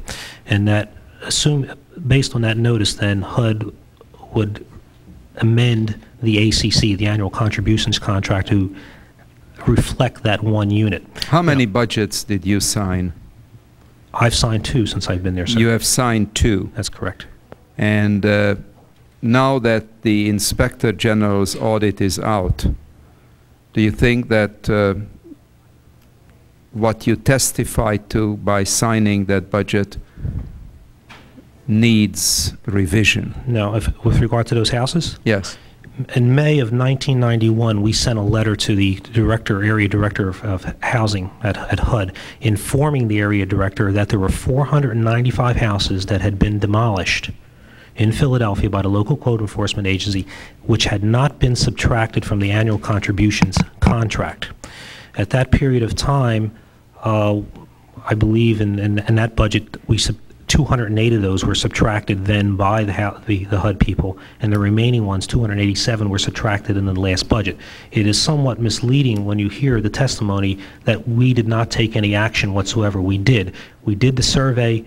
We found the 495 houses. The number came from the Housing Authority to HUD. And I'd like to submit, uh, as, with regard to my testimony, our response to the HUD audit, which is 107 pages. In that response, you will see the, the, the graph that shows the 100, uh, the 395 houses, some of which go back to 1972, two, 20, 20 years ago. Now, the other thing you must remember is that in addition to that, there were additional houses that were demolished over and above the 495 that over a period of time, the 20-year period, were sent to HUD. HUD did subtract them from the annual contributions contract and made the subtraction the valid subtraction. So the 495 is, is not an inclusive number. It's the number that was not, uh, that HUD did not pick up, or, or maybe in some circumstances, we may not have uh, notified them appropriately. The Inspector General's report claims that on the average, it takes about four years to have a unit uh, repaired. I Is would- that accurate? It, the Inspector General's report says four years to have it occupied, not, not repaired, okay? Okay. And I would disagree with that because what they have done. What is the correct figure? It's probably about three to four months. And let me, let me explain how I come to that. What they have done is taken the length of a unit that is vacant because of planned modernization, uh, either under MROP or CAP, which in some instances may be years, and then taken and averaged that out with a unit that recently becomes vacant. And you get that, that But effectively, the unit is not used for four years. not each and every unit, but Well, he- there are- they say on the average. I, we, again, we, that's, they, they are, they, what they've done, there are, of the 4,600 vacant units in Philadelphia, approximately, Do you think that the IG of HUD is biased against the Philadelphia I don't Housing know, I don't, I don't want to say that, I'm just saying. Well, why don't they say one year if it's one year? Why do they say four years? Well, we met with them in the exit interview, and we pro, we gave them our response to what they found, and they disag, they disagreed with it, so I'm, I'm just trying to. But of course, I disagree with your response too because it makes no sense. What your response says is that the unit may be vacant for three and a half years, and then it may take six months to fix it. So you should consider the, the fixing time six months. And they say, no, it's four years, because for three and a half years But- you didn't touch it. but if you- and then you started fixing it. Okay, if you subtract the units that are vacant because of long-term plan modernization, you subtract them out of the equation. But you shouldn't subtract them out of the, you- why should you? You have to because they're, they're vacant with HUD's approval and with the Housing Authority's approval, waiting, either waiting funding or a funding source, or they're, or they're under rehabilitation. If you remove those from the equation and you look at all the other units that become vacant because of normal turnover, then it takes about four months to repair and occupy the unit, assuming it's not catastrophic, like a fire or something like that. You failed to persuade me, Mr. I'm, I'm, I mean, I'm, I'm I, I think the Inspector General's judgment is, uh, is, uh, is the judgment But- that right. people with uh, common sense would, uh, would agree with. Um, You're spending about $6 million on security, is that correct? That is correct, sir. Am I accurate in understanding that your security people stay in a booth and they see a cr- crime being committed, they call Philadelphia police? O- Only partially. Uh, The Philadelphia Housing Authority has a uh, professional police force that is equal in authority to the Philadelphia Police, with the exception we can only arrest people on, on our own grounds. Yes. Uh, A number of years ago, we instituted something called Operation Secure in the high-rises, in which we put a secure booth to, in the entrance of the high-rises in an attempt to control the people, the undesirables are people who do not live in that development from gaining access Yes. to the development. As part of that, an armed police officer stays in that booth and admits people in. The- Their instructions are, if they see an altercation, they are immediately to call either the housing police for assistance or the Philadelphia police. If they leave the booth unattended, then the people will gain entrance to the high-rise.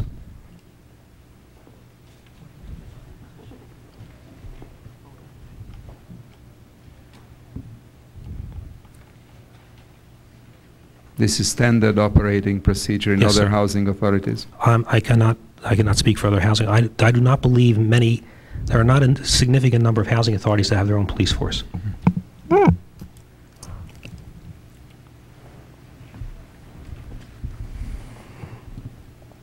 Who initiated the takeover of uh, the Philadelphia Public Housing Authority?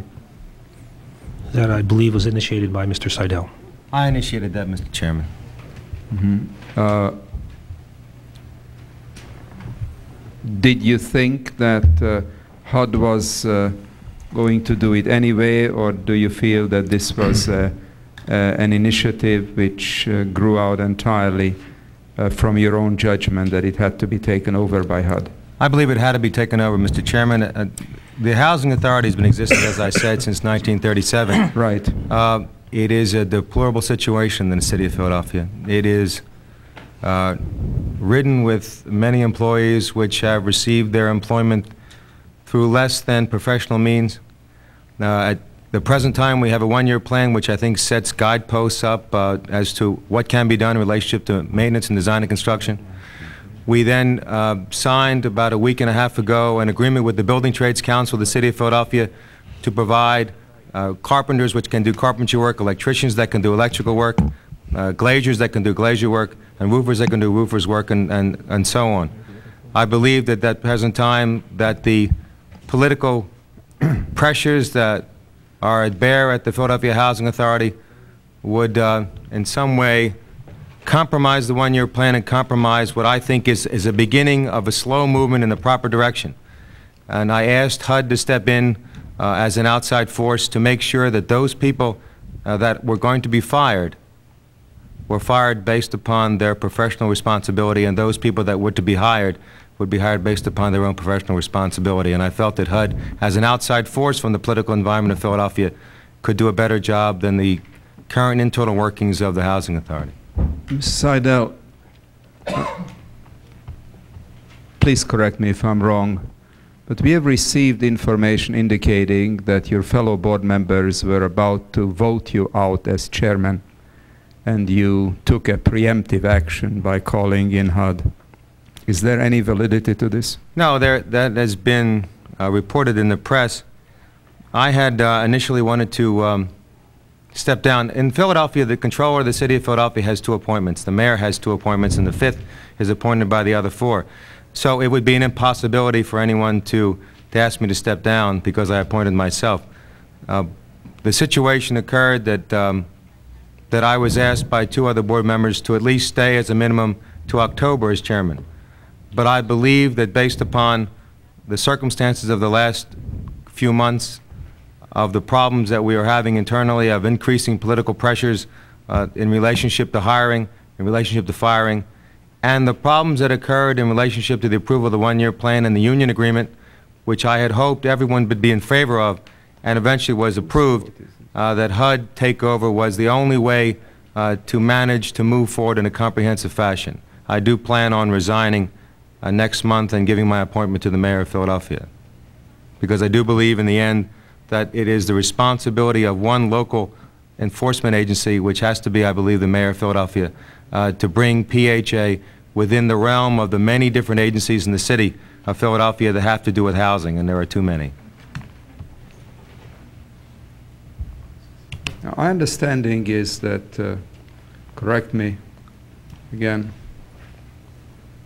um,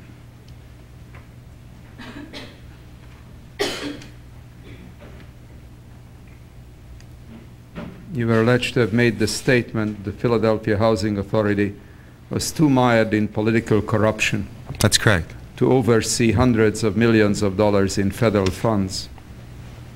What we have going on here is a complete money grab. Is yes, that an I'm, I made, I'm, I, I would, the gist is correct. Uh, For your information, Mr. Chairman, I had asked a year ago for HUD to step in with an overseer. I asked six months ago at a press conference with the mayor of Philadelphia that I felt that I had, that HUD should come in with an overseer, which would be a special master. And I felt last week that it left me no other alternative than to state publicly again, as the chairman of the Housing Authority, that I felt at that time that the Housing Authority should be taken over at a minimum of one year uh, to make sure that we move to the next plateau. What did. HUD tell you six months ago? There was no response from HUD. Whom did you talk to at HUD? I made a public statement uh, at, when the, uh, there is a Brophy Commission which was initiated by our new mayor, Mayor Rendell, to analyze the different agencies. In Philadelphia, there are many agencies that are involved in housing. And one of the reasons why we have no housing policy is there are a lot of people in Philadelphia that make a lot of money from, from poverty. Um, one of the things we are attempting to do in Philadelphia is to streamline that and coordinate it between, uh, into one, uh, one organization. Uh, At that, at the announcement of the Brophy Commission, I asked uh, that HUD appointed overseer, and I received no response. Did you follow up? No, I was asked, uh, at that time, I wanted to resign, but was asked by the, uh, the mayor to stay on, and 2,000 tenants signed a petition asking me to stay on as chairman of the Housing Authority, so I did. Congressman Shays. I I just want to be clear, a a public statement, did you write to HUD and say, I want there to be a special master appointed? Did you call someone up specifically ask, or did you just tell the world this? At that time, I told the world, Congressman, uh, I also didn't write to the, to HUD last week when I asked the same, when I asked for the same statement. Well, I- I am not here, if I, if I can continue, I am not here to blame HUD. No, no, I'm no, but I, no, I, I don't care who you're here to blame, and I, I'm sorry to interrupt, but, but you gave the impression that you asked for someone, uh, you you gave the impression that basically you asked HUD to appoint someone, and you didn't ask HUD. And it's, it's just, I- it's blatantly untrue. You just made a public statement that that should happen. Well, when an official of Philadelphia makes a public statement, it is usually, it was looked at last week, No, and I was the same, if I can't continue, Sure. I was the same official last week when I asked for HUD to take over, as I was six months ago when I asked HUD to take over, in relationship to bringing someone on board. The statement six months ago was less emphatic, but what I asked was that HUD should be involved No, in bringing someone on board to be involved Who, in the who did you day-to-day ask? decision-making. Who did you ask? Did Well, you I uh, made- did you ask the separate secretary? Did you ask someone who? Ha- uh, who specifically did you ask? Again, I am only stating that I made a public statement. No, no. I am not saying that HUD was, was uh, irresponsible by No, no, not I, responding. I know you're not s- saying that. I just want to make sure what you are saying. I, I want it on the record, if that's right, if I may just pursue this. Please. Did you contact anyone in writing that uh, HUD should take over uh, the management of the Housing Authority? No, I did not. Did you uh, public, did you call someone up? No, I did not. Okay, so you did not contact HUD to ask them to take over the Housing Authority. Is that not true? That the, just answer the question. This, I made a public statement. No, I- I asked the question. Well, that's all I did. No, no, but I asked, did you contact anyone at HUD? I made no independent communication then. No. What do you mean independent? No, I made no additional communication The answer is simply conference. no. The answer is no. You did not ask anyone. Isn't that the answer? I did not ask anyone, You did not contact anyone at HUD. no, I did not. Okay. I did not contact anyone. Why? Because it- right after that, I was asked to stay on as chairman, and I felt that as we were moving forward, that with the um, Brophy Commission, which is initiated by the new mayor of Philadelphia, Mayor Rendell, that we would begin to have better coordination of the different agencies that were involved in housing. Well, I just, ask- uh, the inference is that you didn't think someone should take it over then. And you certainly didn't contact I didn't. at HUD. No, I, yeah, I did not. It was not as emphatic as the movement that I took last week, which which resulted in a bipartisan effort, and I commend HUD on coming in and taking over the Philadelphia Housing Well. I, did you contact anyone a week ago and specifically ask them? I had had my office uh, begin meetings with the um, with the mayor of Philadelphia, and uh, I made affirmative action at that time. Yes. Did, did you contact anyone at HUD requesting that they take over the Housing Authority? Representatives of my office began to meet with representatives of the regional director of HUD. Uh, Began to or met with them? met with them. Yes. Okay. And did they ask? Yes. That's your sworn testimony. But you did not ask? I did not ask. No. Okay, thank you. Thank you, Mr. Chairman. May I ask what the forum was where you made the first suggestion? The first, uh, I'm sorry, the first suggestion um, that was made in 1991 was the, uh, the announcement of the Brophy Commission, uh, which was a commission established And in what context did you make the suggestion? When I announced that I was in favor of the Brophy Commission and would stand by the recommendations of the Brophy Commission in relationship to my position as chairman, in my position as a, as a member of the Board of Commissioners of PHA, I also asked that the, uh, that, that HUD begin to be involved in the day-to-day operations of the Housing Authority. This was an oral statement. Yes, sir. To what forum? It was to the forum of, uh, it was a, a press conference in the Mayor's Hall uh, in front of the major media and the print media. Mhm. Congressman Mackley. Thank you very much. uh, But I do want to reiterate, if I can, excuse me, uh, I am not here to play any fault. If I wanted to pursue that in January, I would have pursued it. But I don't want anyone to think that it was not something that I thought of last week, but was something that I felt was on an ongoing basis in my own mind in relationship to the problems that we were having at the authority. Yeah. Um, Mr. Chairman, if I might, I, my problem is that it's really a meaningless gesture. I mean, the implication to this committee, I was left with the feeling that you had made a request. And, and in fact, you had not made a request. You had made a statement. I am merely telling you that so that you understand that it was something that I did not all of a sudden think of at 4:30 in the afternoon before a 5 o'clock press conference, but was something that had been on my mind for quite a bit of time. I guess my, I said- guess I'm giving editorial comment. I think it's a meaningless gesture to make a public statement at a press conference and not follow it up with a specific contact uh, with someone at HUD. And I think that, that, uh, that- Assuming that I, assuming that that was what I eventually decided had to happen at that given point in time, I did not believe, after conversations with the mayor and after the movement of the Brophy Commission, that it was necessary that HUD take over at that time. I merely mentioned it in this proceedings because I wanted you to understand that it was not something that I thought of as far as HUD taking it over, something that just happened on a Tuesday. I didn't wake up and say, gee, let's have HUD take over PHA. It was something in the back of my mind for a period of time that I felt would be the ultimate step uh, that would have to be taken if no, if nothing else was going to work. I guess my comment to you, though, is that it's really a meaningless act because uh, you made a comment at a press conference, didn't follow it up, and subsequently, I guess, decided it shouldn't happen, so therefore, I wonder why we're even mentioning it. I'm But- only mentioning, as I'm, I'm- and I'll repeat it again, I'm only mentioning it so that you understand my state of mind, not because I have any fault on HUD not taking Oh, over yeah, okay, because no, there should be no fault at HUD. No, I'm not saying there was. yeah. Thank you. Uh, I don't think anyone here believes that either you two gentlemen caused this problem because you were relatively late comers to the uh, problem. Is that correct? I mean, you both came on board in 90 or 91? 90, approximately two years. Uh,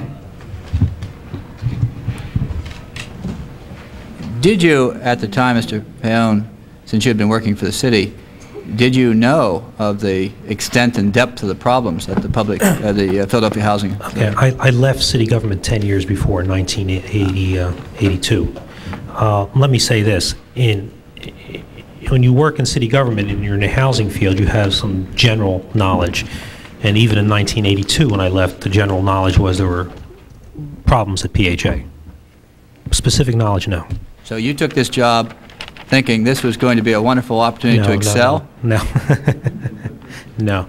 I took the job because when you work in city government, and I worked there as an intern, my first job, and worked there for 10 years, and worked for 11 housing directors in 10 years, and you saw them come and go, you said to yourself, I can do a job just as good as they can. I know the good points, and I know their bad points. And when you leave government and you work in the private sector, you find that the, there are certain rewards to the private sector that you don't have the aggravations of city government. The only way I would have come back in city government if I had an opportunity to head an agency.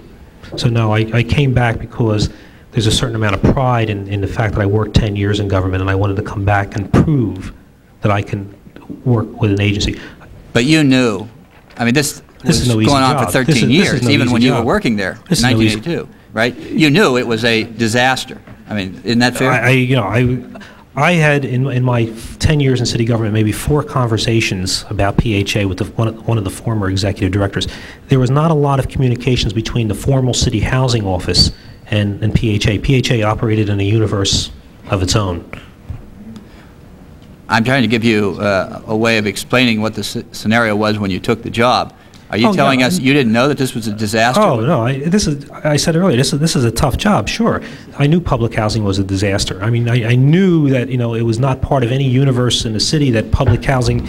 Uh, you can drive by the developments. I was born and raised five blocks from one of those developments. They were bad when I was a kid, and you know they they, they had the same problems.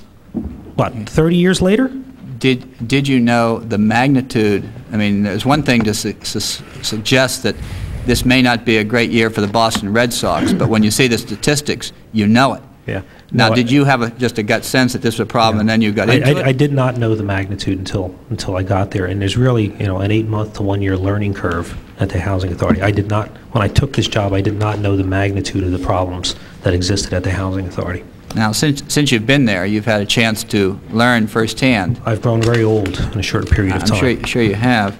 Uh, And you indicated that uh, you did have some, some uh, debate or- or some, some other uh, input to the uh, IG's final report. Uh, I'd like to just go through, and if we can just deal with it briefly. This, So, this, this IG's report, Yes. yes. So Staff, staff met with two members of the IG's office uh, for an exit interview, and we Okay. presented them with our response, which is approximately 100 pages. right. Ha- Have you submitted that for the record? It's right here. I, I've asked to do that, sir. Okay. Well, can I just go through the eight points which are Sure. uh, in the IG's report to see whether you agree? The first point is that the Philadelphia Housing Authority failed to provide decent, safe, and sanitary housing to tenants. And in fact, they suggest that 99% based on looking at 86. They, they looked at 86 units. 11 of those were vacant. Let me say this. Let me say, generally speaking, I agree with the philosophical comment, and that's been true of housing, the housing authority for the last 30, 40 years in the city of Philadelphia. Specifically, if I can comment, 11 of the, the units they looked at were vacant. They, they may have been short-term vacants or long-term vacants. A vacant unit by, by any standard may be trashed or vandalized and may not, and normally would not meet this. Of those, 56 of the remaining were minor repairs. The other 20 odd were major repairs. Uh, The PHA has over 4,500 vacant uh, units. That is a correct statement. If I, and if I may categorize that, approximately 2,000 of those are long-term uh, vacants due to modernization, um, either under CIAP or MROP. Those comprehensive improvement assistance funds or uh, rehabilitation of obsolete projects. Another 1,000 of those are primarily vacant scattered sites in what are considered non-viable areas by the federal government, in which uh, you may get a situation where one house is standing on a block, or you may get a, a situation where the house is structurally dangerous, et cetera, and the, and the HUD office says you cannot reinvest money in that particular dwelling. Now, uh, do you think that of 2,300 units, having 4,500 vacant is a relatively high Sure, vacancy it's, sure, it's, it's uh, 19, 20%, but you got to get, again, I'm trying to at least explain, there are, some of those are planned vacancies. Right. If you subtract the 2,000 and the 1,000, you remain with another 1,000. Of, of those, um, the majority of them have problems with lead-based paint that inhibits us from, from readily or quickly rehabilitating them. They first must be tested. Until recently, there was not a standard HUD policy, and I don't, I don't even know if there currently is on the testing for lead-based paint. Once you do the testing and you find that lead-based paint is there, then you have to either remove it and/or encapsulate it, which becomes very expensive. And the, and the whole process of testing and encapsulation is really in its infancy at this point. So you're satisfied that 4,500 is an acceptable number? No, I I didn't say it's acceptable. I- I'm telling you some of the, the, the reasons why it is, they are vacant. They're, having 10... there are many reasons Having 10 vacancies is not acceptable. Well, sometimes it is acceptable if they're in fact uh, uh, within the standard norm. Mm-hmm. Uh, If they're outside the standard norm, and it's just benign neglect or stupidity or or malfeasance or some- mismanagement, there- then there it's is- not acceptable. Yeah, Would you put 4,500 vacant units in a standard norm out of 23, or is that much beyond what would be considered a standard norm in a... It is much beyond a standard norm if you take into consideration, again, the, the planned vacancies and the fact that many of those are non-viable areas. And so I would, would you suggest that is a critical problem with the Philadelphia Housing Agency? Sure it is. It's a critical problem because, again, we inherited 110-year-old scattered sites. Right. And if that is such a critical problem, I've read your uh, status of public housing in Philadelphia summary report. Yes, sir. Uh, Was that expelled out here uh, explicitly as one of the critical problems? Vacancies are spelled out as a critical problem. I don't remember verbatim the exact report. But yes, we, we, we describe vacancies as a critical problem. Did you put out this report as chairman or executive director? As executive director, yes. And is, is it in here? Again, that was issued, um, I don't remember, February 27th, 1992. Yeah, I, I'm sorry, I don't remember the, the report verbatim, but vacancies, I will agree with you, are a significant problem at the I, housing. I. I couldn't find vacancies in here. Maybe it's there, but I certainly didn't I'm see it as, I don't as a highlighted issue, uh, if it's a critical problem. Uh, Maintenance and repairs are not timely is the third uh, would- I would agree with that. issue. I would agree with that. In the IG report, it says that they have uh, 300, and- you have 324 vehicles, but you deploy only 172 to maintenance staffs. Is There are some 50, 60 vehicles, uh, maybe not that much. There's vehicles for the police force. There are some, probably 30, 40 vehicles for the police force. Uh, Keep in mind, when they describe a vehicle, we're talking everything from a trash truck to a uh, a a compactor to, uh, you know, um, one To of a the things- sedan? Like a a step van or the things that the roofers carry with them, you know, you- the kettles, so to speak. So it it doesn't necessarily mean it's- it has four wheels on it and it- and it's gas-powered.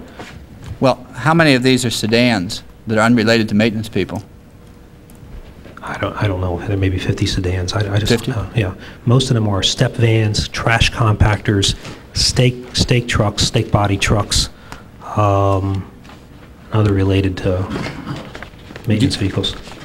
How many of your top executives have uh, sedans that are paid for by the uh, The- Public Housing Authority? Myself and the, the deputies have vehicles, there are three deputies, and senior management people who are required to go out to the various sites have vehicles. Keep in mind, there So are roughly less than a half dozen? approximately, yeah. Why then does an article in the Philadelphia Daily News on May 27, 1992, say that 89 of PHA's 324 vehicles are assigned to administrative staff, Well- such as PHA Board Chairman Jonathan Saidel and Executive Director John Paone? Many, of I, I, I said I have a vehicle. Many of those other sedans are pool cars located in the various sites. We have 42 developments, 7,400 scattered sites, four warehouse facilities, uh, police stations, uh, undercover activities by police officers. Some of the vehicles are on loan to us by the state attorney general. Um, and and it, it, it, literally, you know, this is the fifth largest city in the United States, you, and we have a development in each corner of the city. And you have to get to each and every one of them. That's precisely the point of my question. if you have yourself and everybody else driving home and all over the city, you don't have the maintenance people going to the site to make the repairs. The question here, if I may continue, is not whether you merit a car.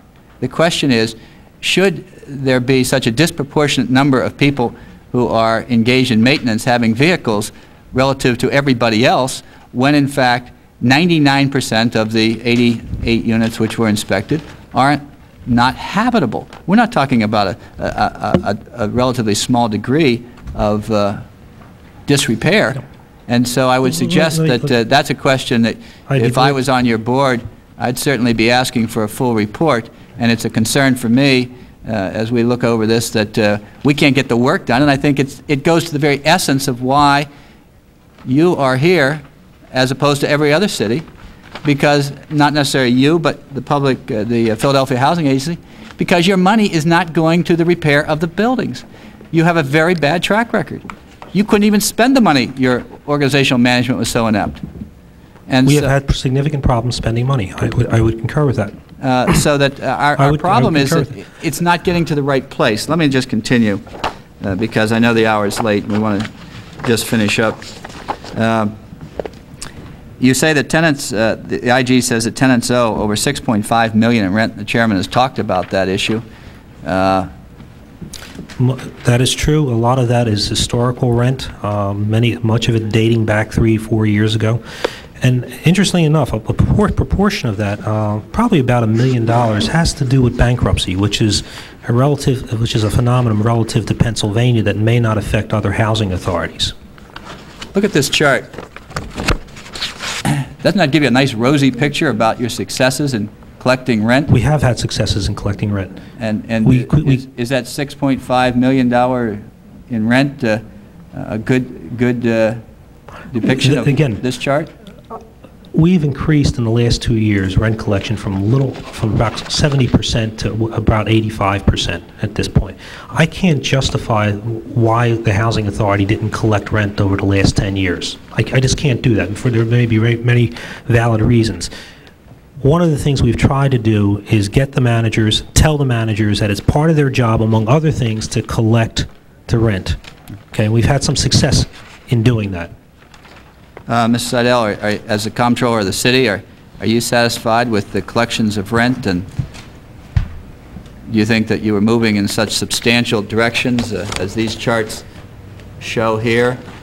And uh, this chart shows, which is dramatic. I was an engineering undergrad, and if I look at that, I say, wow, you guys are, ought to be getting awards instead of having the federal government take you over. I think that the, um, the movement from 70% to 85% is commendable in relationship to the collection of rents on a current basis and forward. I do not believe that, and you look at the end product of the Philadelphia Housing Authority, that, that anything is commendable. One of the reasons why we instituted the one-year plan and signed an agreement for an overhaul of maintenance and design and construction with the Building Trades Council of the City of Philadelphia to, was to bring in competent help, to form teams, to make sure that the work product was proper and that there was accountability. I think that if you look at the authority moving forward, uh, you will see that, w- that they are, they have an ability to reach the next plateau. Unfortunately, I don't believe that the, uh, I think that the, the theory of PHAs in general should be rethought, but I do believe that if you're looking at this authority in particular, that there has been some movement of, in a positive direction that, that should not be shortchanged. I believe that the problems are overwhelming. Um, I think that they should have been attacked by the administrations of the city of Philadelphia for the last 20 years. I wish they were. Uh, the housing authority got, came into existence 15 years before I was born. I wish I was around to help it then. Unfortunately, I wasn't, uh, but I do believe, and I don't, I don't really, I'm not familiar with the document you're holding. You're the chairman, right? Yes. Is this put out by the Philadelphia Housing Authority? Yes, there's many documents put out by an authority of 1,700 employees with, uh, that did not need board approval. That is supposed to be, I understand, uh, statistical analysis based upon internal information. It's kind of scary. Well, I can't uh, suggest that you should know everything, but uh, uh, when I just read this document, which uh, was in a packet that I received from the, uh, yeah, this was, this was submitted to, by you. I mean, we didn't dig this up. Is this your packet that you give out to people? I don't give out the packet. I don't know what was presented you're the presented to chairman of the board. I'm not Yes, asking you to that's know true. every day-to-day I don't, I don't know what happens on an everyday basis in the city of Philadelphia either. But I don't know, I, I would assume that there is a packet from PHA because it has a logo on there. Well, you- And I have seen that document in the past. Okay, But so I you- do believe, because I think that was your question, I do believe that it is commendable that there has been an increase from current forward in rent collection. I don't necessarily believe that, uh, that just because you write off, that that should be looked at as an improvement. But I do believe that one of the things that was asked by the Housing Authority Board of Commissioners was that a balance sheet be truly reflective of the reality that exists today and not to artificially inflate accounts receivable that cannot be collected. Well, as I read this, and I'm sorry that you haven't, and I would suggest that you do, and in fact, I'll share with you my copy if you don't have one, uh, it presents a fairly rosy picture of, of what's going on. In fact, it might uh, suggest that, although the first sentence says that there are serious, have, having suffered in the past tense, serious problems, this is only in February, the things seem like they're moving along. And uh, it, it sort of contradicts uh, this uh, testimony that uh, uh, everyone was, in fact, very much concerned and, and thinking of being taken over by the federal government because things were in chaos. And I, I commend you for trying, but the documents don't support the, the testimony. And I'd like to continue on because I think that uh, we are ta taking a lot of time, and I think there's another witness that needs to testify. Um, one of the things that I just frankly can't understand is how these units for so long could have been missing in action. Uh, And you've, I suppose, tried to explain it, but when you took over, uh, did you uh, ask, what do we have in inventory, and have we verified it? Well, when I, when I took over, I obviously asked how many units do we have in both high rises, low rises, scattered sites, and turnkey threes, and even in Section 8s. Um, like I said, there's a, there's a, there's really a six month learning curve Sure. when, when you get there. Um, I was not aware of quote unquote missing units, so to speak. When it was brought to my attention that we had to reconcile with the ACC the missing units, we initiated the survey. And came up with the 490, 95 units. So it's not like we didn't try to, try to, try to find them. Okay. And so today, you have a accurate inventory Yes. And, and finally, uh, it says you need to reform its administration of the public housing program, and that, they talk about uh, all these uh, contracts which have been let, and it was $267,000. Uh, Have you done anything to uh, They- minimize they- the they- number of... They refer, I think, to probably 12 or 13 contracts there. Mo- Most of those contracts uh, are, uh, one of them was for uh, the admissions policy, which was required by HUD, I think it was like $45,000. They're open competitive bid contracts that cannot be done, we don't have the capability to do them in-house. We have four lawyers in-house.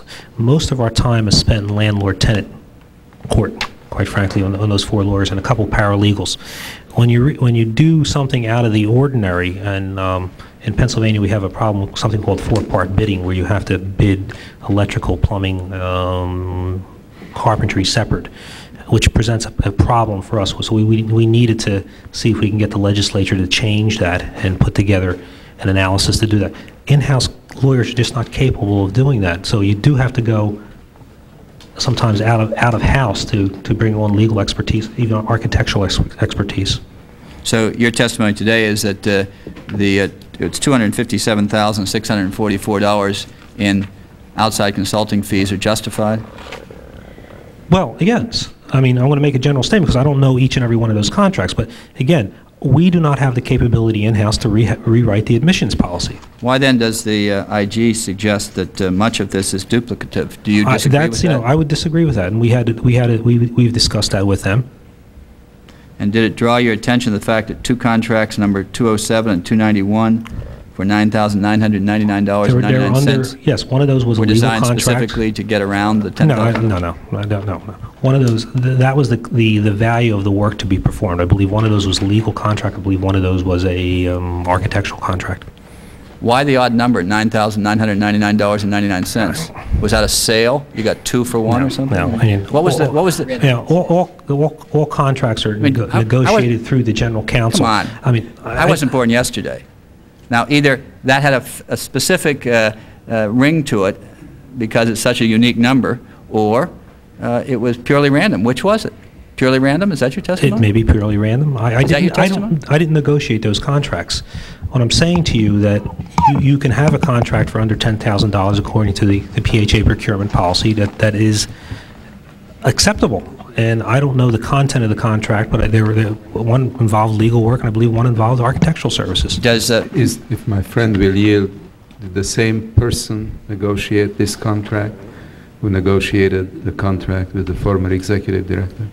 No, I don't believe so. You know? No. And your testimony under oath is that the fact that the contract is just for under $10,000 is a sheer coincidence. No, I didn't say it was a coincidence. I said that was the negotiated amount that was reached between the person negotiating the contract. And the fact that above 10,000 approval is required had nothing to do with that. It may have something to do with that. What happens under t- over $10,000, you have to go through a formal bidding process, where That's- under that's the point. $10,000, you go through an informal That's bidding process. precisely the point. yeah. Go ahead. Thank you. Um, Does Mr. Gray have a consulting contract with you? Gray Business, he testified earlier? No, he does not. Kurt Gray, the Gray Group, No. did he have one in 1991? He has had, not had a contract as long as I've been there. I don't know if he's had one previous to that. Were you there in 1991? Yes, he did not have one in 1991. One second. Was his testimony that he had a consulting contract?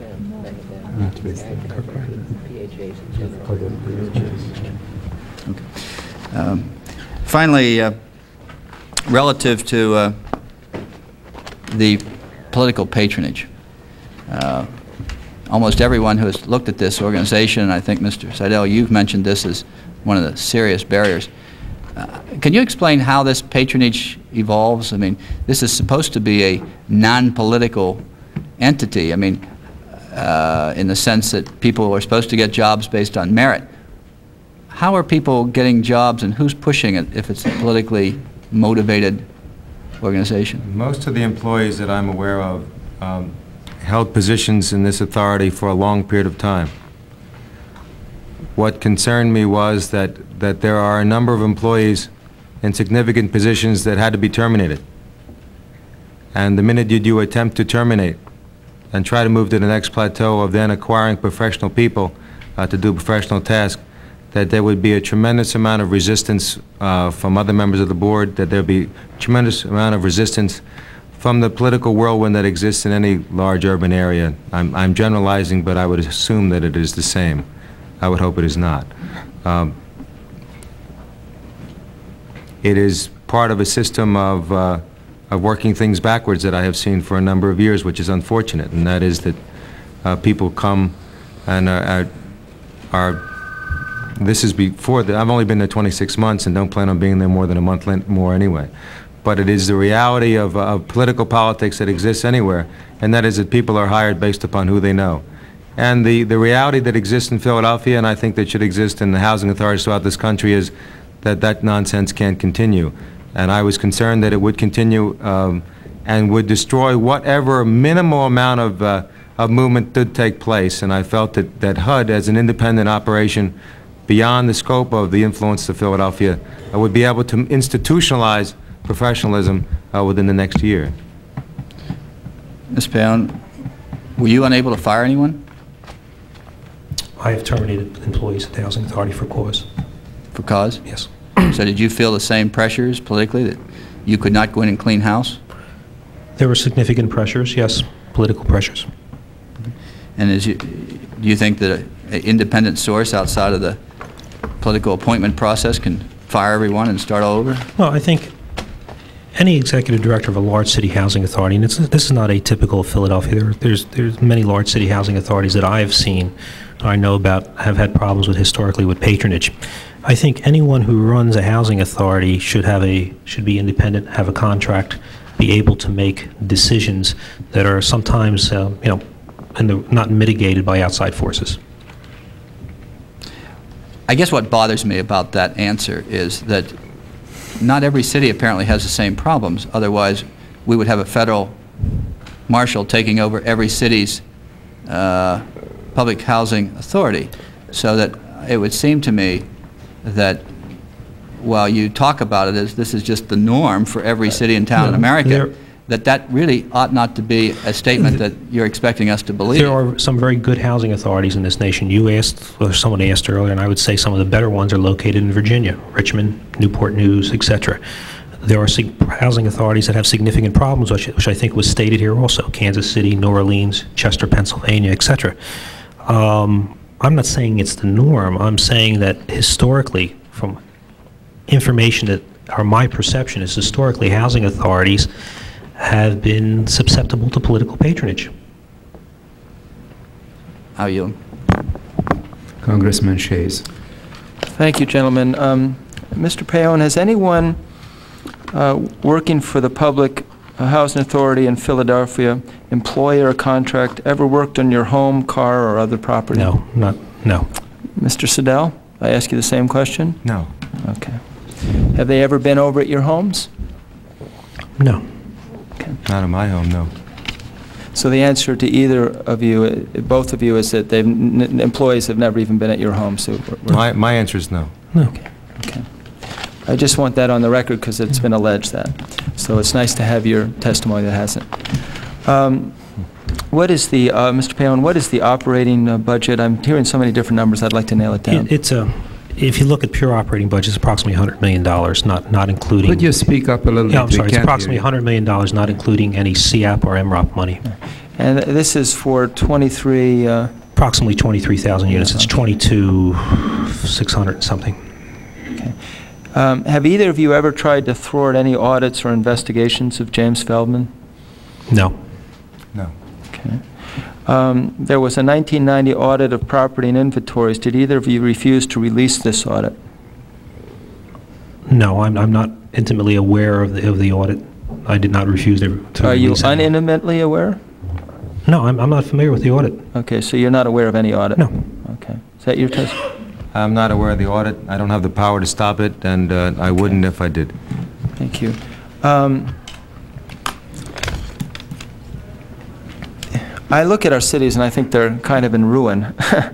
And uh, I look at our public housing authorities and feel the same way and begin to think this is not a good advertisement for uh, local control. Um, We face uh, a lot of serious challenges running our cities and our housing authorities. And I guess what I want to ask um, Mr. Saidel, Yes, sir. you appointed yourself Yes. to be on the board. Did you Yes. have another appointment as well? I had uh, two appointments. I appointed um, Ms. Sandra MacArthur, who was the chief of staff to Senator Fattah, State I, Senator I- I- I don't need to know who they are, but, but how many members are on the board? Five, And how many of those members uh, were appointed by you? two. Me and uh, myself and another. So you have two of the five members. That's correct. Um, Who makes the other three The appointments? mayor makes the other two appointments, and the fifth is is elected by the other four. The other fifth, uh, in this case, uh, Congressman, is uh, Ms. Peggy Jones, who is a tenant leader. So basically, you're telling me that you, you effectively controlled, uh, in terms of appointment, half of those who were appointed, and the, and then your, your two appointees would help choose uh, the f- the fifth with, in conjunction with the other two appointees. Well, effectively, there would have to be, if if myself, uh, it has never come to a vote for the fifth. Uh, The fifth was on the board and remains on the board um, uh, beyond my tenure, because I'm leaving next month, so I have never had an opportunity to appoint a fifth. Okay. Um, I'm just curious why, with, with your busyness, uh, as you are the controller, correct? Yes. Of the city, and that's an elected position? Yes, it is. Why, why in the world would you appoint yourself? Well, you know, you make stupid mistakes in life. uh. When I, uh, when I ran for controller of Philadelphia, one of the things I wanted to see in 1989 was uh, what the actual job entailed. And one of the things, one of the items that, that nobody really ever talked about was the, having two appointments on the Housing Authority. The uh, former controllers have always just appointed uh, a clergyman, someone that they had known, and, and, and there was always a hands-off approach, and nobody really paid attention. Certainly in Philadelphia, nobody ever paid attention to PHA. It was federally funded, it never affected the city budget. Uh, it was an entity that existed somewhere um, out in left field. Uh, I had a press conference in 1989 at the Raymond Rosen Don't Project. tell me about press conferences. Okay, well, I had a press conference there uh, in which I, I looked at the Housing Authority, and when I an appointment came up, I asked if there was anyone that wanted to be involved at the Housing Authority. I couldn't find anybody uh, that I felt um, would be, have the commitment that is necessary to see what's going on, and I appointed myself. It's what they call leading with your chin. Well, uh, either that or uh, making mistakes about making public comments at press conferences. I, I don't see the relevancy of, of your even talking about a press conference in your appointment. What's, I, I, I- it, it goes over No, my I'm head. just, again, I am just giving you, I am just giving you a rundown of how, in my frame of mind, I came about the decision to appoint myself. At a press conference? I'm just giving you a rundown of, of my frame of mind as to how I decided to appoint myself. Okay. Um, Would you say that you were an active participant on the board? Yes. Do you know what's going on in the board? I was an active participant in spending a tremendous amount of my own personal time at the 42 developments to see what is going on and try to help people, yes. See, because the indictment is, you're telling me... Well, I, I- would, uh, Sure. I would object to the term indictment. Well, let me finish. Let me, the, the indictment is that, that, that um, it's hard for me to imagine um, you're telling uh, HUD in a press conference or whatever, not really telling HUD, telling the world, that, that this should be taken over when you are basically, you and one other person uh, are, are, are intimately involved with the operation of this housing authority. I mean, uh, you're an active participant. Was your appointment an active participant? Appointing myself was an active participation. Yeah, and you appointed someone else? Yes. And was that person an active participant? Yeah, I would assume so. Well, don't assume. Were they or weren't they? Yeah, they're as active as anyone else has been. Well, that, uh, what does that say? Well, it's, Were they as active as you? no, Did they attend meetings? yes, So they attended meetings. You attended meetings? yes, Okay, did you make most of the meetings? yes. Uh, Just a majority or, or, or clearly almost everyone? Clearly, almost everyone. Okay. And your appointment did as well? She made the majority of the meetings, yes. The, um, what I'm wrestling with is that basically, when you ask HUD to take over, it's an acknowledgement that you failed. It's an And- acknowledgement of a failure, yes. It's an acknowledgement that the Housing Authority, of which you are a board member, you are not an observer. You are an active participant. You've told me that, Yes. in spite of the fact that you didn't know about this. this No, I didn't say I didn't know about that. Okay, what did What I say? said was that I'm not familiar with the graphs, but I felt, the response from the congressman was, I felt that it was commendable that there was an increase in the rent collections from the present time forward. Okay, well, um, i- i- what happens, usually it's HUD that comes in and says, we need to take over because the board's not doing a good job. Uh, Would you agree that basically the board is the one that runs the housing authority?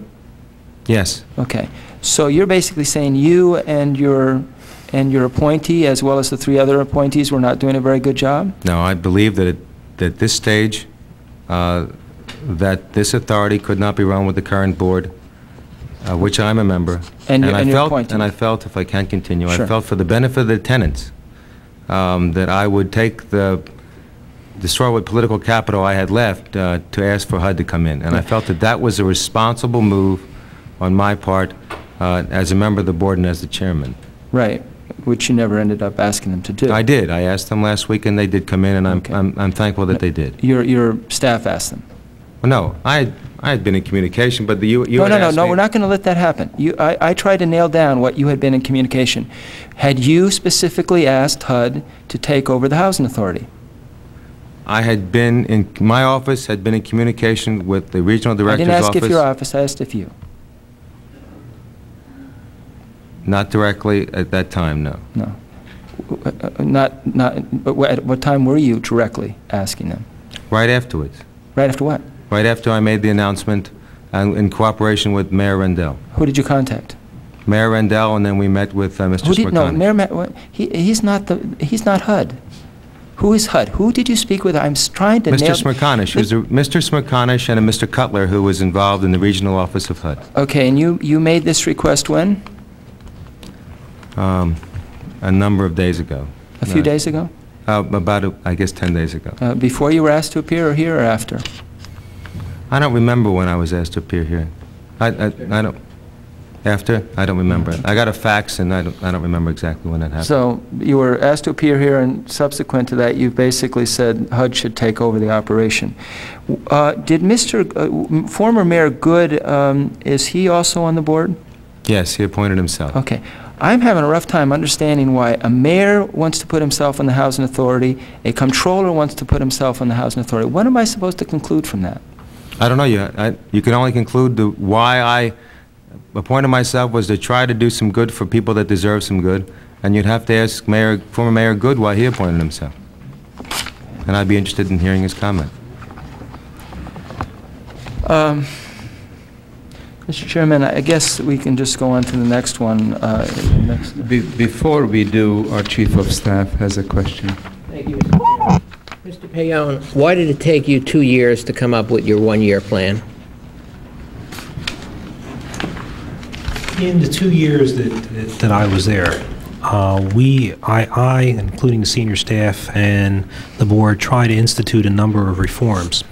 As I said earlier, um, my first six to eight months were were Learning primarily... curve, lear- right. Well, no, in addition to learning curve, had to do with the financial situation. Uh, We looked at the, the security issue, we looked at issues that related to resident services, healthcare, That's during the job first six employment. months? No, through- through- throughout, Throughout. okay? Um, Job care, uh, not job, healthcare, job, job opportunities, employment, employee, or tenant hiring, et cetera. But how about maintenance? How about We, we maintenance, looked at repairs? maintenance, we looked at maintenance, we, uh, obviously, there were significant problems in maintenance. Uh, I, re- I replaced the director of maintenance, um, made some changes there, um, brought on a new person to head the capital programs division. Um, excuse me, but one of the cornerstones of your one-year plan is a new effective maintenance department. Why did it take you two years till you got to the stage where you're Initially- proposing that, and all these goals are to be met in the, le- in the next year? Initially, I believe- Had you proposed it a year ago, we would be there Well, now. in in hindsight, it's always, you know, the the best way to to be there. I believed But it's not, excuse me, it's not hindsight that we're talking about. It's, it's public housing residents who were told tomorrow, always tomorrow, and now we're told it'll be another year because No. of this one-year plan. Well, I didn't say it'd be another year. I mean, the one-year plan is an implementation strategy. I mean, I, yes, I wish I could have, we should have done it a year ago. I believe that we had the in-house capability and uh, that to make the necessary repairs. Unfortunately, we didn't. Okay, one further question. Last year, HUD gave the Philadelphia Housing Authority $84 million in CIAP funds. That was conditioned on the Housing Authority hiring an outside firm to perform construction management. Have you hired such an outside firm, and if not, why not? No, we have not. The RFPs are on the street, nor have we received the money to date. The RPs are on the The street? RFPs, requests for proposals, for outside, And when, did- when did they go out on the street? uh, within the last month. Within the, within the last month? Yes. And this was monies that were given in last year November. for construction management? No, no. The $84.4 million Right. in CIAP, the CIAP award was, was announced in November In November. of 91. Okay, thank you, Mr. Chairman. Congressman Shays has a question. Hi, thank you. Um, M- Mr. um, uh, Saidel, uh, as a member of the board and as chairman, um, do you feel that Mr. Paone is doing a good job as an executive director? I think he's uh, done an adequate job under the circumstances. Okay. Um, Mr. Paone, you are still the executive director, and I'm confused by that. Usually when a master comes, a special master comes in, or someone, when HUD takes over control, usually, I thought the, the executive director is no I- longer I working. think this is a unique situation, um, and again, I'm not, historically, I, I understand there have been a limited number of takeovers in the past, and they have been takeovers that have been the result of what's called a breach of the ACC, the annual contributions contract, where HUD comes in, as they did in Chester, Pennsylvania, and effectively removes the board and the executive director and senior staff. This is a, a unique situation. I don't know if it has a precedent anywhere else, quite frankly, in which a, a special master has been appointed who is overseeing the day-to-day operations of the housing authority. Yeah, the basic, this, basically, the special master um, uh, it controls the authority. In other words, the board, he overrules the board. Best of my knowledge, this the board doesn't meet. quite Right, the board doesn't basically exist. It's an advisory. No, it exists. It's advisory. but basically, uh, he uh, takes on the functions, or she, of of the That that is correct. He he or she would approve resolutions that were normally approved by the board. I guess I'm just mystified, given, um, Mr. Saidel, you read this report? No, I've never received an official copy of that. I saw that here today for the first time. I would assume Okay. you're holding up the audit by the, uh, Right. by HUD. I received my copy today also, right here in this room. Right, you saw a draft of it, though? I saw a draft, Yeah, that's did you correct. see the draft? I saw a draft of it. Did you yes. go over the draft? I went over the draft, yes. Okay. Did you agree with most of what was in there? I think that the, the, the presentation i- is accurate. Um, I didn't need the, the HUD to come in and, and tell me what the realities were because I had been out on the street and saw the realities uh, as they exist uh, in Philadelphia. Okay, I'll just conclude, because we do have a vote. What what I'm, what I'm puzzled by is, I mean, the reality is that 99% of the housing units are not up to con, up up to what they should be. Of- And, and what I'm puzzled by is 4,000-plus units are not occupied, of which you were getting, a housing authority, uh, improperly, money from HUD that you shouldn't. And it seems to me that, that uh, those are strong indictments of the system and, and the operation of this, of the housing authority. And, uh, um, and I guess what puzzles me, um, Mr. Paone and Mr. Saidel, is that basically you all were in charge, and somehow we're talking, been wrestling with finally what bothers me. What bothers me is this. There are five people who run the housing authority and executive director, and we've got two of them right here. And so is it your testimony, basically, that the other members who are not present are the ones who screwed up? No. If you're asking me, uh, as I had stated initially when I came here today, it is my belief that the system is born to fail, and that what you have to do, respectfully, is to change the system. Well, Now, we can do everything in the world, but the system is born to fail. If you visit the housing sites that exist in the Housing Authority of Philadelphia, you will find that many of them look like cinder block plateaus. Please don't tell me what they look like. I know what they look like. Okay. No, no, but, But- but, but I do know that your maintenance crews didn't have work orders and didn't keep track, and you can't blame that on a building. That's people, and people are in charge, and somehow it seems like both of you are passing the buck. No, and I can only speak for myself, but in 26 months, it took time to find out and root out problems. It took time to be involved with law enforcement agency to root out corruption, and it took time, please let me finish since you're asking me. It took time to set up a plan, it took time to sign a, an- a union agreement that was never signed for in the history of the city of Philadelphia with the building trades to bring in qualified people. Now, if, if those, I think those actions are positive. Should many more things have been done? Yeah, well, I can sit here and say, I wish to God we had other things. We are moving forward this week, tomorrow, was a resident initiative summit to try to bring uh, doctors on board at the Housing Authority, to Well- bring uh, prenatal care and nurses Yeah, on The board other, the other problem sites, is so- that there were uh, approximately 10 other reports in the last 13 years that uh, basically were a directive of things that could be done to improve. So it wasn't like you had to invent them or discover them. Uh, uh, There have been many, many reports that said specifically what should, action should be taken. Well, I, if I, if I can respectfully, there was an audit by my office 25 years ago that talked about waste, fraud, and corruption. But the real, the difference is that it is easy to say things, but it is difficult to implement them. And a two-year implementation on a problem that has begun to fester since 1937, I think is some movement. It may be recognizably as being small, but it is movement, and I think that if you look at it, um, hopefully if the PHAs remain in existence, uh, that there is changes that can occur, and in 10 years, you can look back and say that 10 years ago, at least there was a beginning of a change in Philadelphia Housing Authority for the betterment of the I, town. I would just conclude by saying, when we did the HUD investigation of, of HUD Central, we never had anyone use the defense that we went back 30 years ago for the problems. Uh, They basically did not ever make that excuse. I I can't comment. I just have one observation. Uh, Earlier this morning, uh, we had a public housing tenant from Philadelphia, Margie Rose, who testified. Did you hear the testimony, Mr. Yes, I did. Yes, I did. Would you please go out to her unit and uh, inspect it and get back to us in two weeks and tell us what happened to that Sir, unit? may, I will do that, I will get back to you, but I also leave you with 30 work orders from 1987 to 1990 in which Ms. Rose lived in the unit, repairs were made to the unit, and I will get you the additional work orders to 1992. I appreciate it. I want to thank all four of you gentlemen for appearing.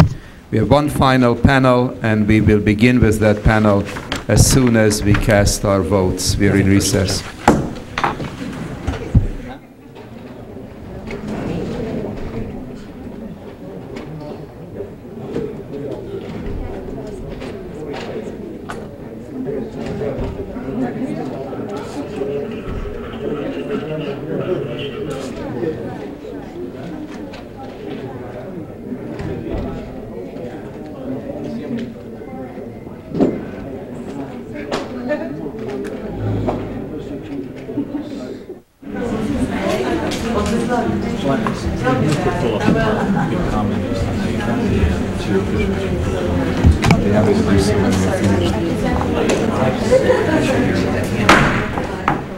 Subcommittee will resume.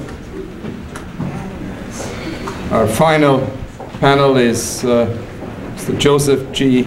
Schiff, Assistant Secretary for Public and Indian Housing, Department of Housing and Urban Development.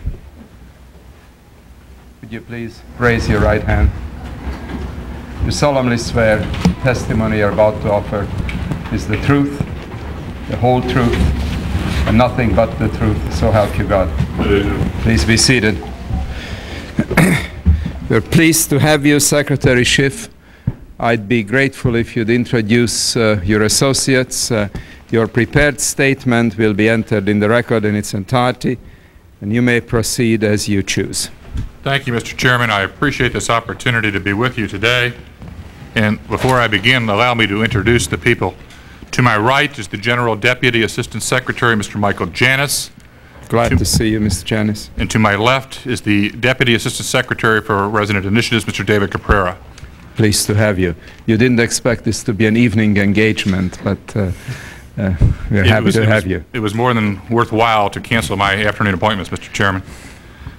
Mr. Chairman, I don't think I could strongly enough deplore what you have heard so far today. The story that has been set forth before you is a sad one. And it is my hope that my testimony and comments to your questions today will reflect President Bush and Secretary Kemp's commitment to our responsibilities and to our eagerness to work with Congress on ways to provide decent, safe, and affordable housing for those Americans most in need. Let me also say that the comments you've heard so far today are, as you said at the beginning, not reflective of the vast majority of public housing authorities in America. These authorities are well-run, well-intentioned, responsible public institutions. While I've submitted a lengthy statement that, as you said, will be a part of the record, I would be remiss if I didn't begin my appearance before you by summarizing this administration's record of overseeing troubled public housing authorities and where we're going.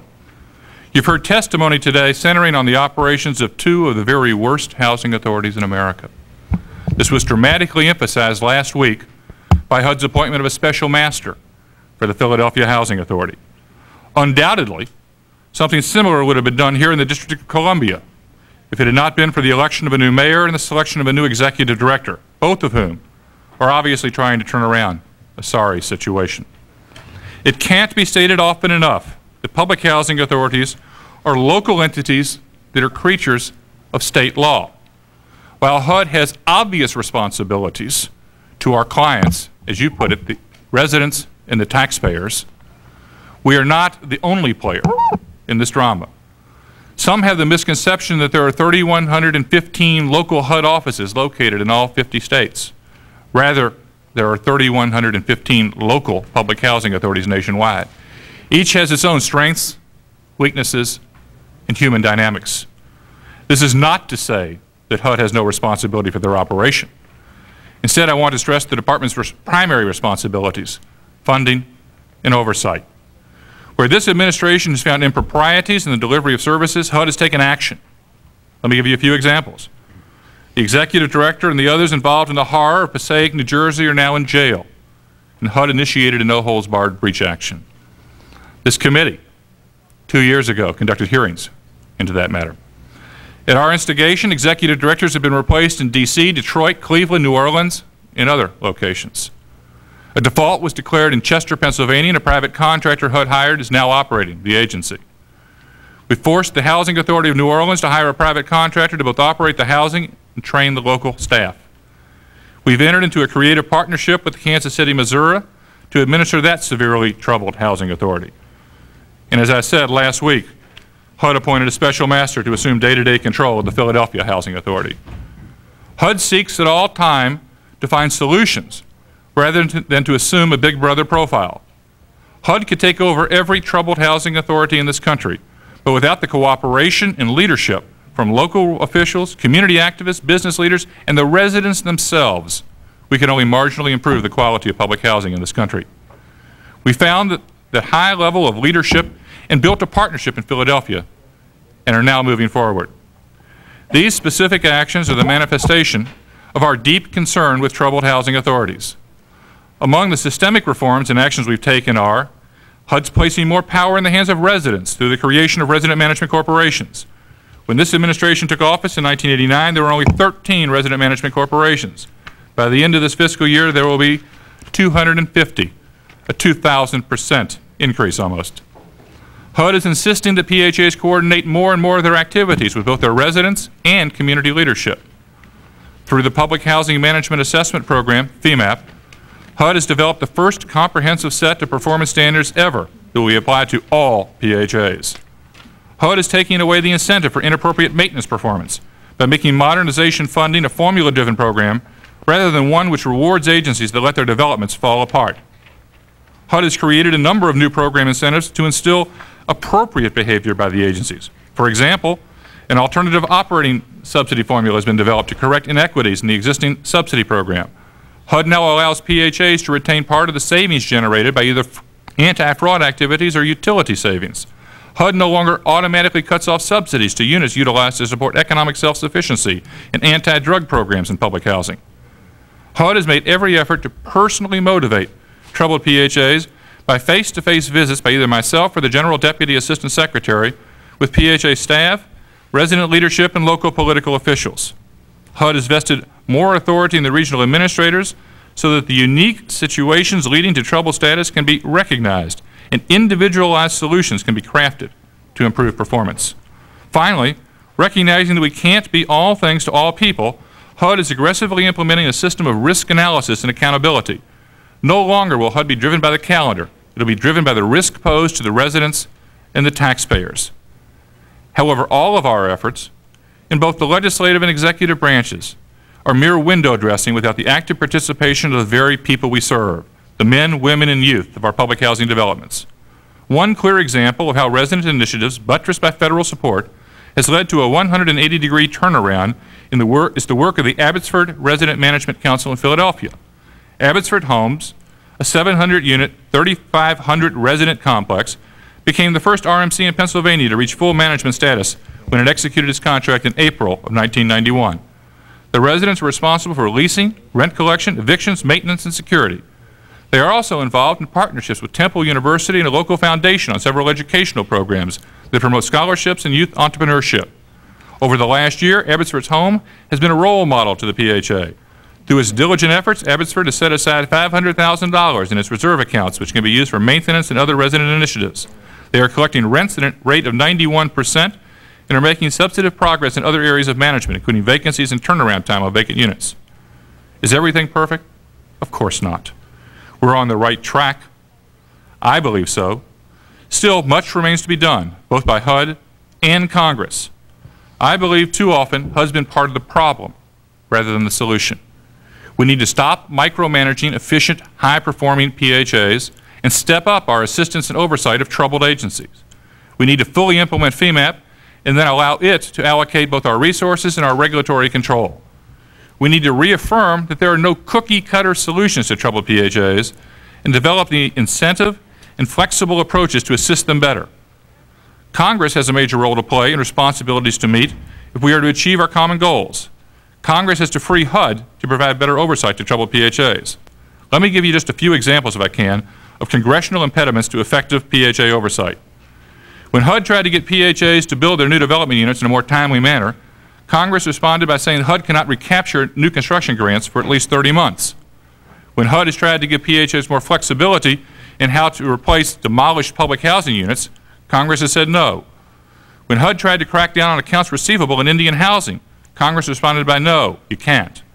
When HUD decided that the taxpayer shouldn't be subsidizing 104,000 vacant units when our country faces such a serious homeless problem, Congress responded by saying no, thus continuing payments for phantom housing How- How did Congress say no to not subsidizing vacant housing units? In the 1992 Appropriations Act, Mr. Chairman, mm-hmm. Congress specifically forbid us to go forward with the regu- proposed regulation that was issued in, I believe it was August of last year, that would have cut off subsidy for vacant units. Go ahead. And finally, when HUD came up with a plan to put more power in the hands of our consumers, the residents, to turn around their developments through our perestroika, perestroika proposal, Congress appears to be saying no, arguing we should continue with the inflexible and morbid top-down management approach. Mr. Chairman, I know Congress wants to join with this administration and say we're sick and tired of these bureaucratic monstrosities, and we're going to do something about it. Today is not too soon to begin. The leadership of you and your committee members would be a good beginning. I appreciate your interest and you affording me this opportunity to testify, and of course, be- we'll be happy to answer any questions. Thank you very much, Mr. Schiff. Will you just sketch for the committee your career path? Mr. Chairman, I served on the Hill as a, uh, started my senior year of college. I went to American University and served as first a gopher for a congressman, then as legislative assistant. I left there for the Army, came out of the Army, went to law school at night while working in a family real estate company, put in 15 years in the private real estate industry. I served seven years as the deputy county executive of Jefferson County, Kentucky, which is the county that encompasses the major city of Louisville, Kentucky. From there, I became the manager of the Kentucky HUD office, where I served for three years. I came to Washington in April of '89 as a special advisor to the Secretary for Public and Indian Housing, was confirmed as Assistant Secretary in August of 1990. Thank you very much. Uh, So you have been in this job for how long? I've been Assistant Secretary for almost two years. Two years. Many of the questions I'm going to ask you predate your tenure, so don't take them personally. Of course. Okay. How do you explain the fact, Ms. Secretary, that HUD has been providing federal subsidies for public housing units in Philadelphia that have been demolished, some for decades? I can't. I can tell you this, Mr. Chairman. In September, I assume it was September, of 1990, because we traditionally announce CIAP grants in September. In September of 1990, in the CIAP grant that was issued to Philadelphia at that time, we set aside... Spell out- spell I'm sorry, out it's the the- Comprehensive Improvement Assistance Program, which is the modernization money. Yes. And also, it's used for management improvement items that might be needed in a housing Yes. authority. We set forth a $350,000 amount for an assessment of the scattered site situation. You were questioning the amount earlier today. You know, why would you need $350,000 to go and look and count, you know, is one there or is not one there? A very valid question. The answer, Mr. Chairman, is that it was not merely a count of missing units. We still do not believe that 495 is an accurate number.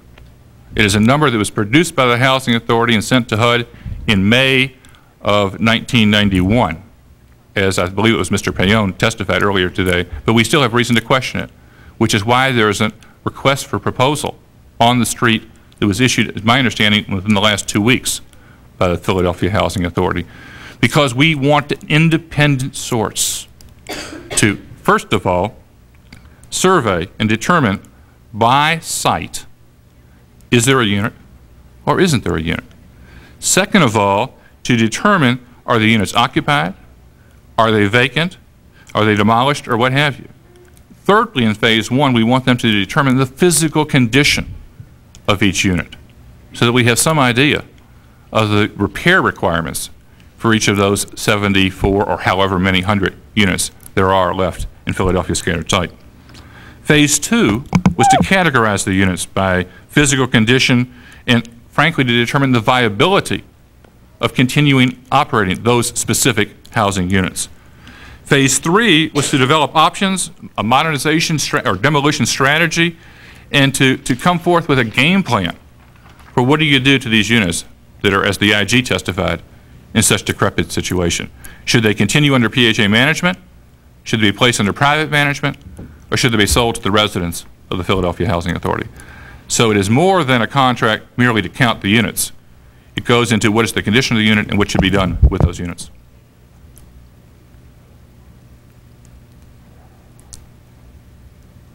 Well, just counting them would be sufficient to determine the phony subsidy number, wouldn't it? Yes, it would, Okay.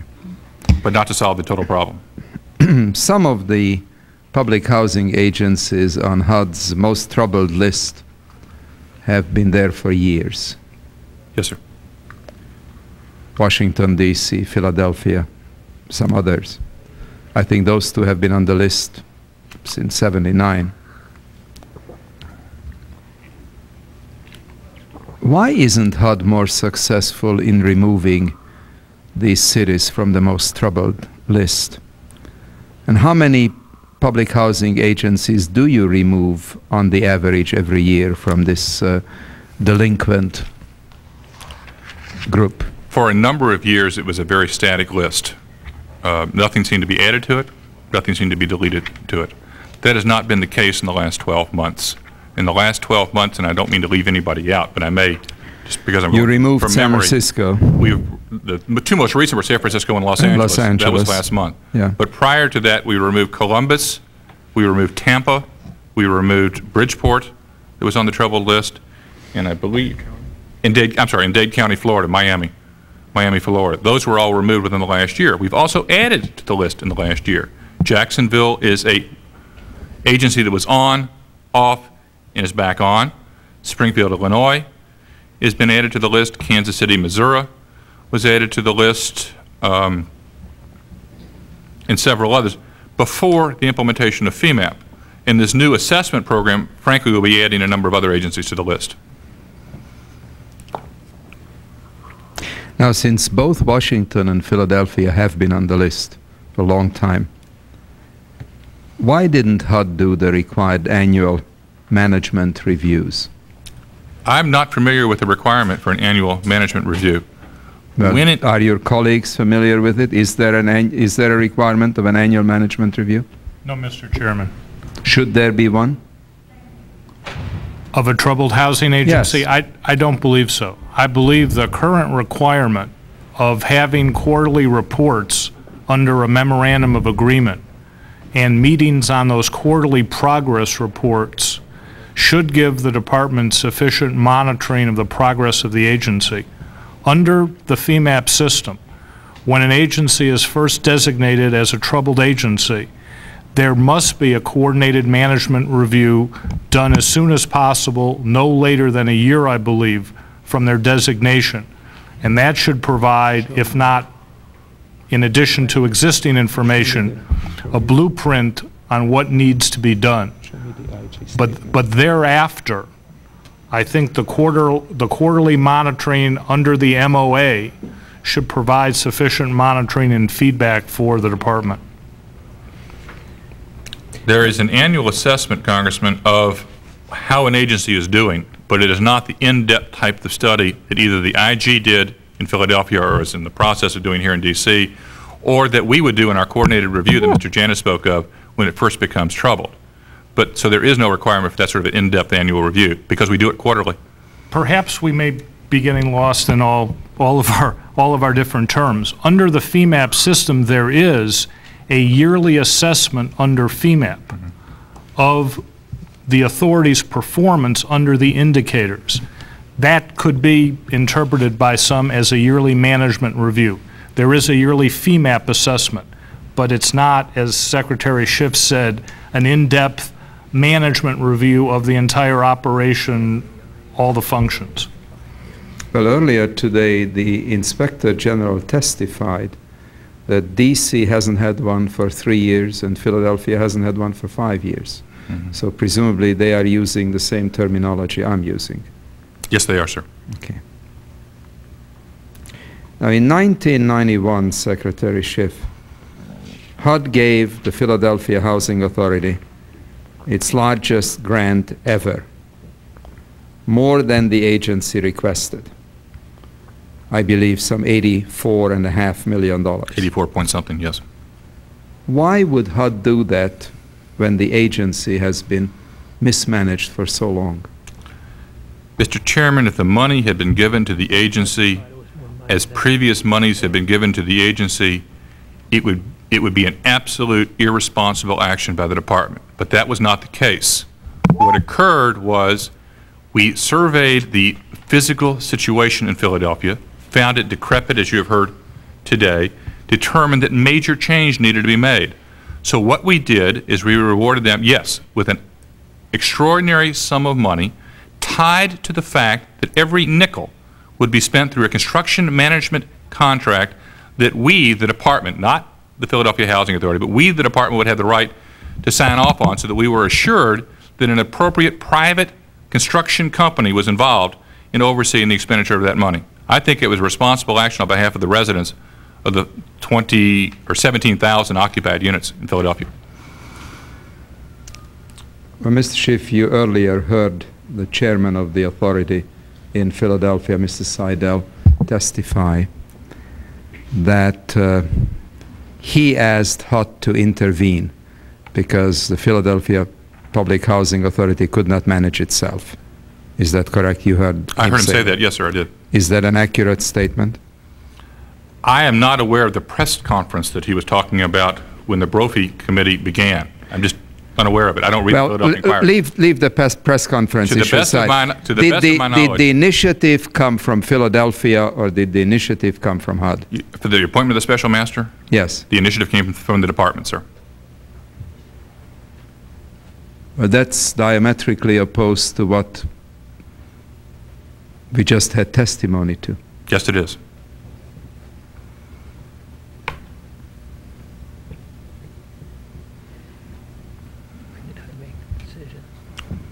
Well, let me pursue this a bit. Sure. Taking the, the most kindly interpretation one can, how could Mr. Saidel testify that it was his initiative, Philadelphia's initiative, to bring about the takeover of HUD by uh, of, of the agency by HUD? I do not. and you are now testifying to something which is diametrically opposed. Yes. I do not believe that Mr. Saidel had any way of knowing about internal HUD conversations that was taking place primarily between Mr. Smerconish, who is our regional administrator in Philadelphia, and myself. He had no way of knowing about those conversations. I understand On May that. the 18th, he made a public statement that HUD should take over the Housing Authority. On May 20th, we did. From his perception, he may say, I precipitated that action. Conversations with Mr. Smerconish on taking over the Philadelphia Housing Authority preceded the call by Mr. Saidel for our intervention.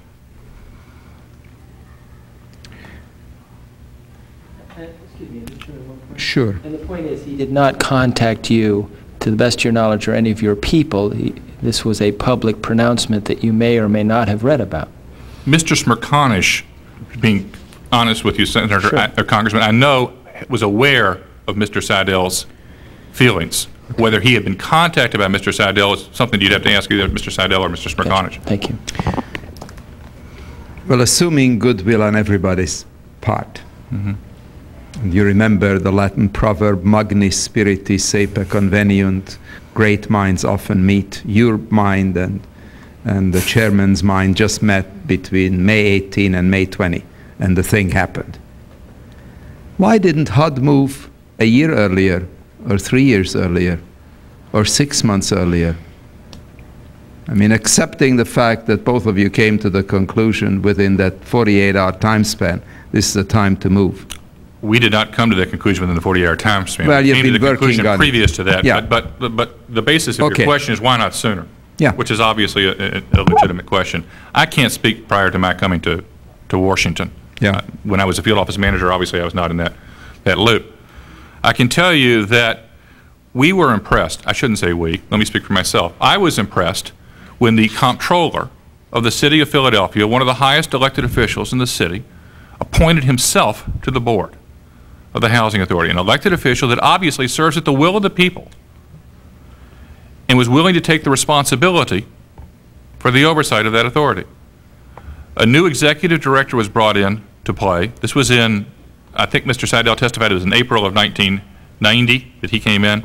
Mr. Paone came in at the beginning of May of 1990. I took my position as Assistant Secretary. I was confirmed by the Senate on Friday, the 13th of July. I hope there's no significance to that. There is. But, thank you. But uh, I, I believe that there was some chance for Philadelphia to turn around. We, in September of 1990, tried to send a strong signal by linking all of the CF that year to construction management companies. Last winter, we became so upset with the Southwark development, uh, a, a, Taj Mahal type of, of, redevelopment of a very important piece of, of real estate, that we took over responsibility for that. It was not until this winter, and I can't give you the exact date off the top of my head, Mr. Chairman, but when we implemented the PHMAP program, we also implemented a portion of the 1990 Affordable Housing Act that gave us the authority to take over a portion of a public housing authority. Up to then, we had to either take over the whole thing or nothing. And we took over a portion called Southwark. That still didn't work, so on May 20th, we, we appointed a special master with the concurrence of the board. Over many years, there have been IG reports laying out all of the problems with Philadelphia. Uh, couldn't have HUD done much more to see that those reports are implemented? In past years, absolutely. Yes. Absolutely. Absolutely. I can tell you this, that this particular secretary, whenever I have gone to him with a horror story like we find here, and said to him, I recommend X, whether it be that we go in and we say we're going, you need to terminate this executive director, or whether we go in and say, as we did in Philadelphia, there needs to be a special master. Mr. Kemp's response, and I can almost tell you word for word what it almost always is, do the right thing. If he doesn't say those words, it's other similar words that lead to the same conclusion. He's been very supportive, but he's very hesitant. He doesn't like the idea of federalizing a lot of public housing authorities. Frankly, we could go in and declare, in effect, a martial law type of action and take over any housing authority in America if they're in violation of the annual contributions contract. But that's not going to solve the problem on the long term. We could hire someone that wears a blue cape and has a big S on his or her chest, and they could straighten out the agency.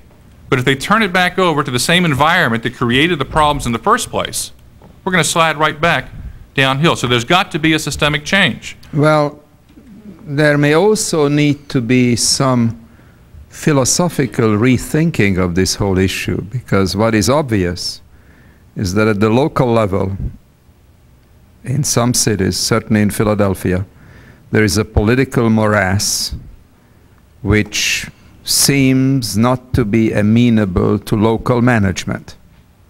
And the federal people who come in are less under the local pressures than right. the people in Philadelphia. So I'd like you to speculate, since we certainly don't want to hear many more Philadelphia stories. That was a pun, Chris. Uh, yeah. um, won't you and uh, Jack Kemp may have to re-examine your aversion to a federal takeover when in fact the federal entity seems to be the only one insulated from the morass of the local political infighting. Mr. Chairman, we're justified in where it will do good. I can assure you we will take an appropriate action. Well, that's not good enough for me. I'm asking you to address this issue in an analytical fashion. It's I, not good enough to say where in your judgment it will do some good, you're going to proceed, and where in your judgment it will not do some good, you won't proceed. I won't buy that. That's not good enough for me. What I'm really telling you is that maybe Philadelphia or Washington, and I will not name any others, are so deeply involved with local problems of a political and management nature, uh, that you will not be able to solve the problem locally. That the local public housing authority will be institutionally incapable of dealing with the problem. Mm-hmm. It's reasonable to assume that in Philadelphia over the years there are a lot of well-meaning people who just couldn't hack it. They couldn't hack it because of all the political pressures. But if someone appointed by the Secretary of HUD comes in, he is not subject to the local pressures nearly to the same extent as local political figures are, because he takes his marching orders from Jack Kemp. Now, I understand you don't want to federalize, and I don't want to federalize. But sometimes you have to make a judgment about the goal, which is to provide decent public housing to thousands of people and to see to it that the federal tax dollar is properly spent. Well, the federal tax dollar surely wasn't properly spent in Philadelphia for years, and the tenants are living in rat-infested dungeons. Mm-hmm. Now, that cannot be a good solution. No. And, I'm sorry. Go ahead. No, you're absolutely correct. And that's why we appointed the special master. The problem, though, is once By the way, why didn't you appoint a, a, a management consulting operation rather than a special master? I mean, couldn't you have gotten a, a management contract operation in? we could have, we could have done a number of things. What we're trying to do, though, Mr. Chairman, is to experiment with a number of different models. One of the things that I said in the opening statement that I believe very firmly is that there is not, as I put it, a cookie-cutter approach to resolving the problems of troubled public housing authorities, and that each particular city has its own dynamics. The special master that we attracted, and we interviewed a number, but the special master that we ended up hiring, excuse me, is a man of outstanding credentials who operates a $50 million I'm not questioning. real estate operation in several states, blah, blah, blah. Yeah. The, the, the real thing, though, that, that I'd like to come back to, if I can, is this need for systemic change, which has led us to propose this year a proposal that we call perestroika, which is basically giving more power to the residents of public housing, a total restructuring in those agencies that are troubled for at least three years by giving the residents the power to, in effect, opt out to say they're doing such a lousy job that we either want to change management companies and hire a competent management company that we choose, or to go even more extreme, which requires a higher vote of the residents, to say that we want the property sold from this incompetent bureaucracy to another entity that will manage it on our behalf. We believe that there's fundamental flaws in some of these large, troubled housing authorities. Like you, I, sh- I shuddered this morning when you asked the question of the IG, when are the other 10 reports going to come out? And he said roughly, as I recall it, two a month for the next few months. Well, Mr. Connors and his folks are doing their job to the best of their ability. I've got no criticism. What I shudder about is not that they're issuing them, but what they're going to say what they're going to say, because we have got some cities that have housing authorities in this country that are incredibly inept at best. And we need to deal with them on a case-by-case basis with the specifics of that particular community in mind. I'd like to ask a question about the security force issue. Philadelphia Public Housing Authority is spending $6 million on security about. Yes. Does HUD have any guidelines with respect to the efficient utilization of a security force? What we say is that when a public housing authority is formed, in Philadelphia's case back in 1937, by statute, a cooperation agreement has to be signed between the city and the housing authority that says that the city will provide comparable services to the housing authorities it does to the rest of the community. In today's day and age, obviously one of the most important comparable services is security. We expect each and every community to providing the same services to public housing communities from their local police departments as they would to any other neighborhood on, a, on an as-needed basis. In some communities, Philadelphia may well be one of these communities, there is a need for even more security than comparable services would provide. And therefore, having a, housing authority, police department may well be an appropriate action. On the other hand, binding people to desks and not allowing them to respond to a resident in need if they see a resident in need makes no sense to me whatsoever. But the mere fact that they've got a police department may well be justified. That wasn't my question. Okay. You have criteria for spending HUD monies, correct? Yes. But you don't have any criteria, as I understand it, on spending HUD monies on security. No, not to that level. No, we do not.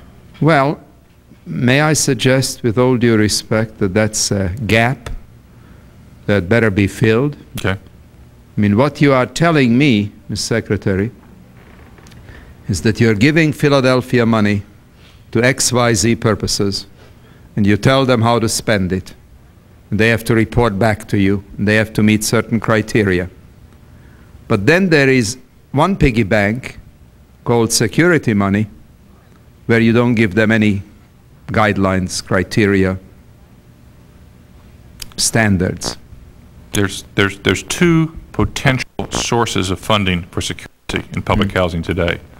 One is through their operating subsidy. They can take a portion of the operating subsidy. And we do not give them criteria, Mr. Chairman, that says specifically how they have to spend their operating subsidy. The second source of money is through a program that the Congress funded starting, I believe, in 1988, which is the Drug Elimination Grant Program, that this year is being funded to the tune of 150 million, or 65 million dollars. In that program, if Philadelphia or any other community gets one of those grants, then we have specific guidelines on how that money is spent. They'll be applying for security, for example, and they'll be telling us exactly how they intend to use those dollars if they're awarded that grant. But Yeah, as far as that- operating subsidy, no, we do not have specific Yeah, guidelines. that grant, by the way, came out of our subcommittee's hearing in Westchester. We appreciate that very much. that, uh, Well, it was long overdue. Congressman Shays. Thank you, Mr. Schiff. and Mr. Chairman, um, I really only had one basic question, and that was, since 1979, uh, this housing authority has been on the trouble list, and, and uh, I was going to ask, when did you decide to, to, um, to basically take it over, and, um, and why did it take so long? I, I think it's very plausible, your response, that, you know, you had a controller who decided to be part of this process, and you saw a new executive director come in, but what, what happened is that things, at least appear from the IG's report, actually got worse. Um, You've answered that question, but what you've opened up is um, the fact that, that, you know, I mean, if I listen to um, the Inspector General, he, he basically said, we don't have a process to track uh, and keep tabs on these local housing authorities. He's saying that in terms of the HUD Central. And he said it's pretty bad. And, uh, you know, there's a lot in there that we could probably spend some time talking about. But you also said something that, that opens up what is obviously a concern of, of both the chairman and mine, and that you said a lot of housing authorities are incredibly inept. And that I guess what I think I hear you saying is that if you decided to put Philadelphia under federal control, that that same logic could apply to a number of others. Is that basically, um, I don't think I said a lot. I said a number of particularly large city PHAs Right. are inept. particularly lo- a a large number? uh, No, know? a particularly large city Okay. PHAs are there- inept. Are there many? Pardon? Are there many? We have, at this stage of the game, 21 confirmed members of our troubled housing authority list. That will grow, as I said, through the Public Housing Management Assessment Program. What we have done, Mr. Shays, and if you don't mind, I'd like to spend a minute on this because I think it's an extremely important subject, is February the 18th, we publish an interim regulation that sets up, for the first time ever, a scorecard on every housing authority in America where we will have a rating of how they are doing on a performance basis. It's not a compliance system, it's a performance system. How are you performing? Yeah. How are your vacancies doing, rent collections doing, operating reserves, utility expenditures, so forth, and so on. The, this system will, over time, give us a trend on every housing authority in America. We've got some housing authorities that you or I would call basket cases today. And hopefully, through, Is basket case worse than incredibly inept? about synonymous. Okay. Uh, I can use other adjectives also. But uh, what this will give us over time is the ability to intervene way before they reach that stage. And I think give us the early warning system that we've lacked for the first 54 years of this program. I see it as a major change in how we're able to oversee and exercise that responsibility that we have of housing authorities in America. We have been for too long sending staff out to do reviews merely because X number of months or years has passed when they're not even needed because the housing authority is doing a fine job. And in exchange, they've been sacrificing and not spending time with the lesser performing agencies that they need to be spending their time on. Do you have the resources to, to implement this plan? I believe we do. Uh, I believe that we are stretched to the nth degree, and I may change my mind, frankly, Mr. Shays, once we have fully implemented PHMAP and I see how many troubled housing authorities we have. Well, But at this time, I'm sorry, but this time what? At this time, I believe that we're okay. Okay, uh, do do you have the, uh, the computers to do this? Do you have, have you got the programs now implemented? Uh, The computer programs implemented to do this? I'm assuming that... Yes, there's a computer program that they can utilize to implement PHMAP scores, to do the analysis of PHMAP. Yes, there are. There are, there are computers not on every desk, although there's a plan within the next 12 to 18 months to have a computer on the desk of every field office employee throughout the department. Whether we'll be able to achieve that, of course, will depend upon funding that we receive for When- next fiscal year. When we work with GAO to, to work on a urban, uh, a, an urban Marshall Plan to rebuild our cities, and we wanted to have a pay, payment in lieu of taxes for public housing, it, it was interesting really what HUD had available and what it didn't. And it, I was struck with the fact that the record keeping of HUD is, is got a lot of problems. I agree with that. Yeah. And um, uh, it just seems to me, though, so obvious that, that we should be able to, and you should be able to tell us exactly how many units uh, are in every community, how many, uh, how many are vacant, how long it takes to fill a vacancy, how much it costs each public housing unit on a, on a per-unit basis. And I'm, I get the feeling that that is not information that right now can be readily uh, provided, that you, you have to go and look at records, and it's not all... You're, you're- you're correct. After Fe- PHMAP is being implemented, Congressman, on the basis of the PHA's fiscal year. So they don't all come in at one time, they come in at four different quarters over the course of the year. When we finish the process, will be, which will be in January, we will then have the type of data in our computers that you're talking about.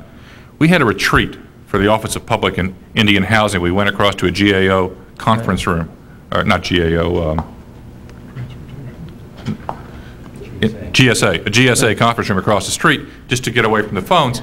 And we sat down, we were trying to work on the development of an executive information system, so we'll have that type of data, whether you, the Congress, wants it, or whether we need it for management purposes, it will be available. And frankly, there's a lot of data that we need that we don't have today. Right. We do not have, you're absolutely correct. But are we working on it? Yes, we are.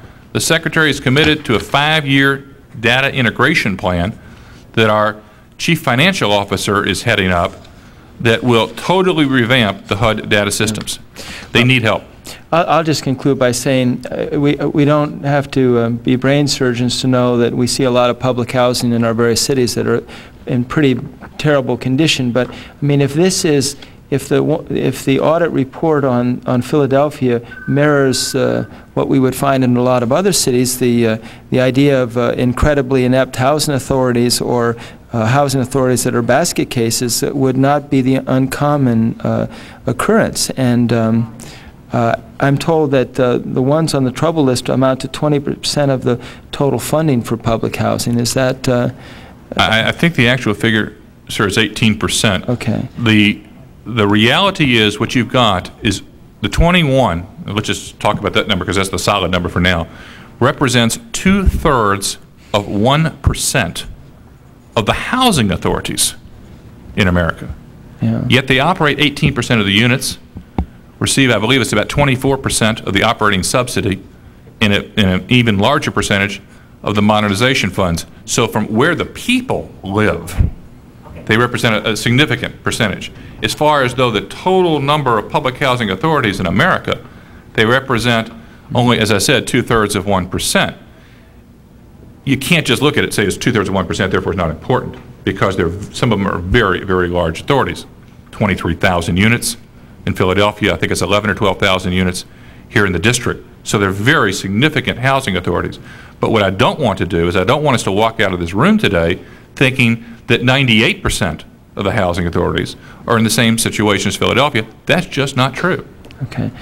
Well, i it's not true, and yet I'm kind of haunted by the fact that almost in every community, uh, whenever I see, um, you know, on TV or, or um, I'm reading about a housing authority, uh, there are just too many places where we know that the living conditions are pretty deplorable. Absolutely. And um, I'm also struck, uh, I just had not focused in on the fact that a community like Philadelphia might have anywhere from 100 million to 150 million in their budget to to to funnel to uh, you know to serve the the, the residents but uh, there's a lot of money there that if not properly handled um, is it represents could represent a tremendous um, amount of waste to the federal government. Can I relay a story, and I don't think I'm breaking a confidence, mm -hmm. that uh, Mayor Rendell relayed to me. He came down, and I believe, if I'm not mistaken, it was a few days before he was actually sworn in as mayor of Philadelphia. But he wanted to establish a relationship with the secretary from the very beginning. We had a very fruitful meeting up in the secretary's office, and I was privileged to participate in that session. He then went back to Philadelphia and said he doesn't know how it occurred, but there was a banner headline in the Inquirer that said PHA to receive $1 billion over a 10-year period. $100 million a year for 10 years added up to the, to the figure that the, the Inquirer used. He later told me, about a week or so later, that he, has had, he had had more interest in PHA than anything else in the city of Philadelphia. It was sort of like a honey, he didn't use this word, but my words are it's like a honeypot existed. Yes. And he said that there were more people interested in employment and in contracts with PHA than he could possibly have imagined. He said not one of the persons that called him was interested in the well-being of the residents of PHA, but they were sure interested in the patronage potential that PHA could spin off. That is an unfortunate story in too many housing authorities. They've been looked upon as not our money, it's the Fed's money. What do we care about the Fed's money? Well, we care a heck of a lot about the Fed's money. This committee, the department that I represent, and I resent, frankly, the people that are out there trying to rip off the system. Uh, are we trying to take action? Yes, we are. I can tell you this. I mean, I think that last comment is just a, a nice summary to this hearing, or a bad, uh, an accurate it. summary, but uh, a very alarming one. But uh, I spent a great deal of my time trying to to oversee uh, and protect the housing authorities in the 4th Congressional District from the very kind of comment you make, where the housing director might call me up and say, I'm getting pressure here, I'm getting pressure there. And, uh, you know, and then I have to make phone calls to various mayors to say, you know, I'm, I'm, I think you need to look into this. But um, I guess it also says to me that uh, th th this is worth a lot more of our time and attention uh, than we've given it to date. I'm delighted, Mr. Chairman, that you conducted this hearing. I really can, I'm very appreciative that you have, and I thank our witnesses. I thank you, Congressman Shays. Uh, um, Secretary, we were very pleased to have you and your colleagues. Uh, look forward to working with you on a very cooperative basis for a long time to come, as we have with Secretary Kemp. Um, I want to thank both uh, the minority majority staff, our most able recorder, and, uh, and all of you for being here. This uh, subcommittee feels an enormous moral obligation uh, to the clients of public housing. Uh, these are people who desperately need our support and attention and protection. And they're going to get it. We also have a tremendous fiduciary responsibility to the American taxpayer, yeah. and that they will get it. And I hope that um, you and I will be able to meet when this uh, list of uh, troubled agencies uh, will have uh, zero communities on it. this hearing is adjourned. Thank you.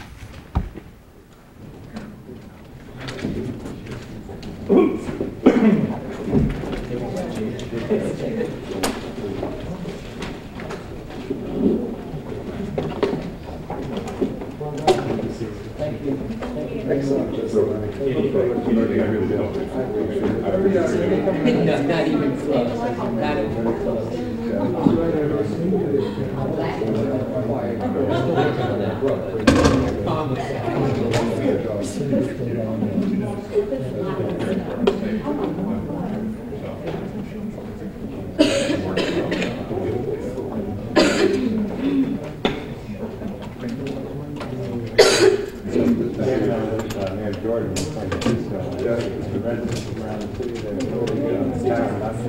I know. June? Thanks. Hi, um, Seth? Hi, Pat, it's Julie. Minute?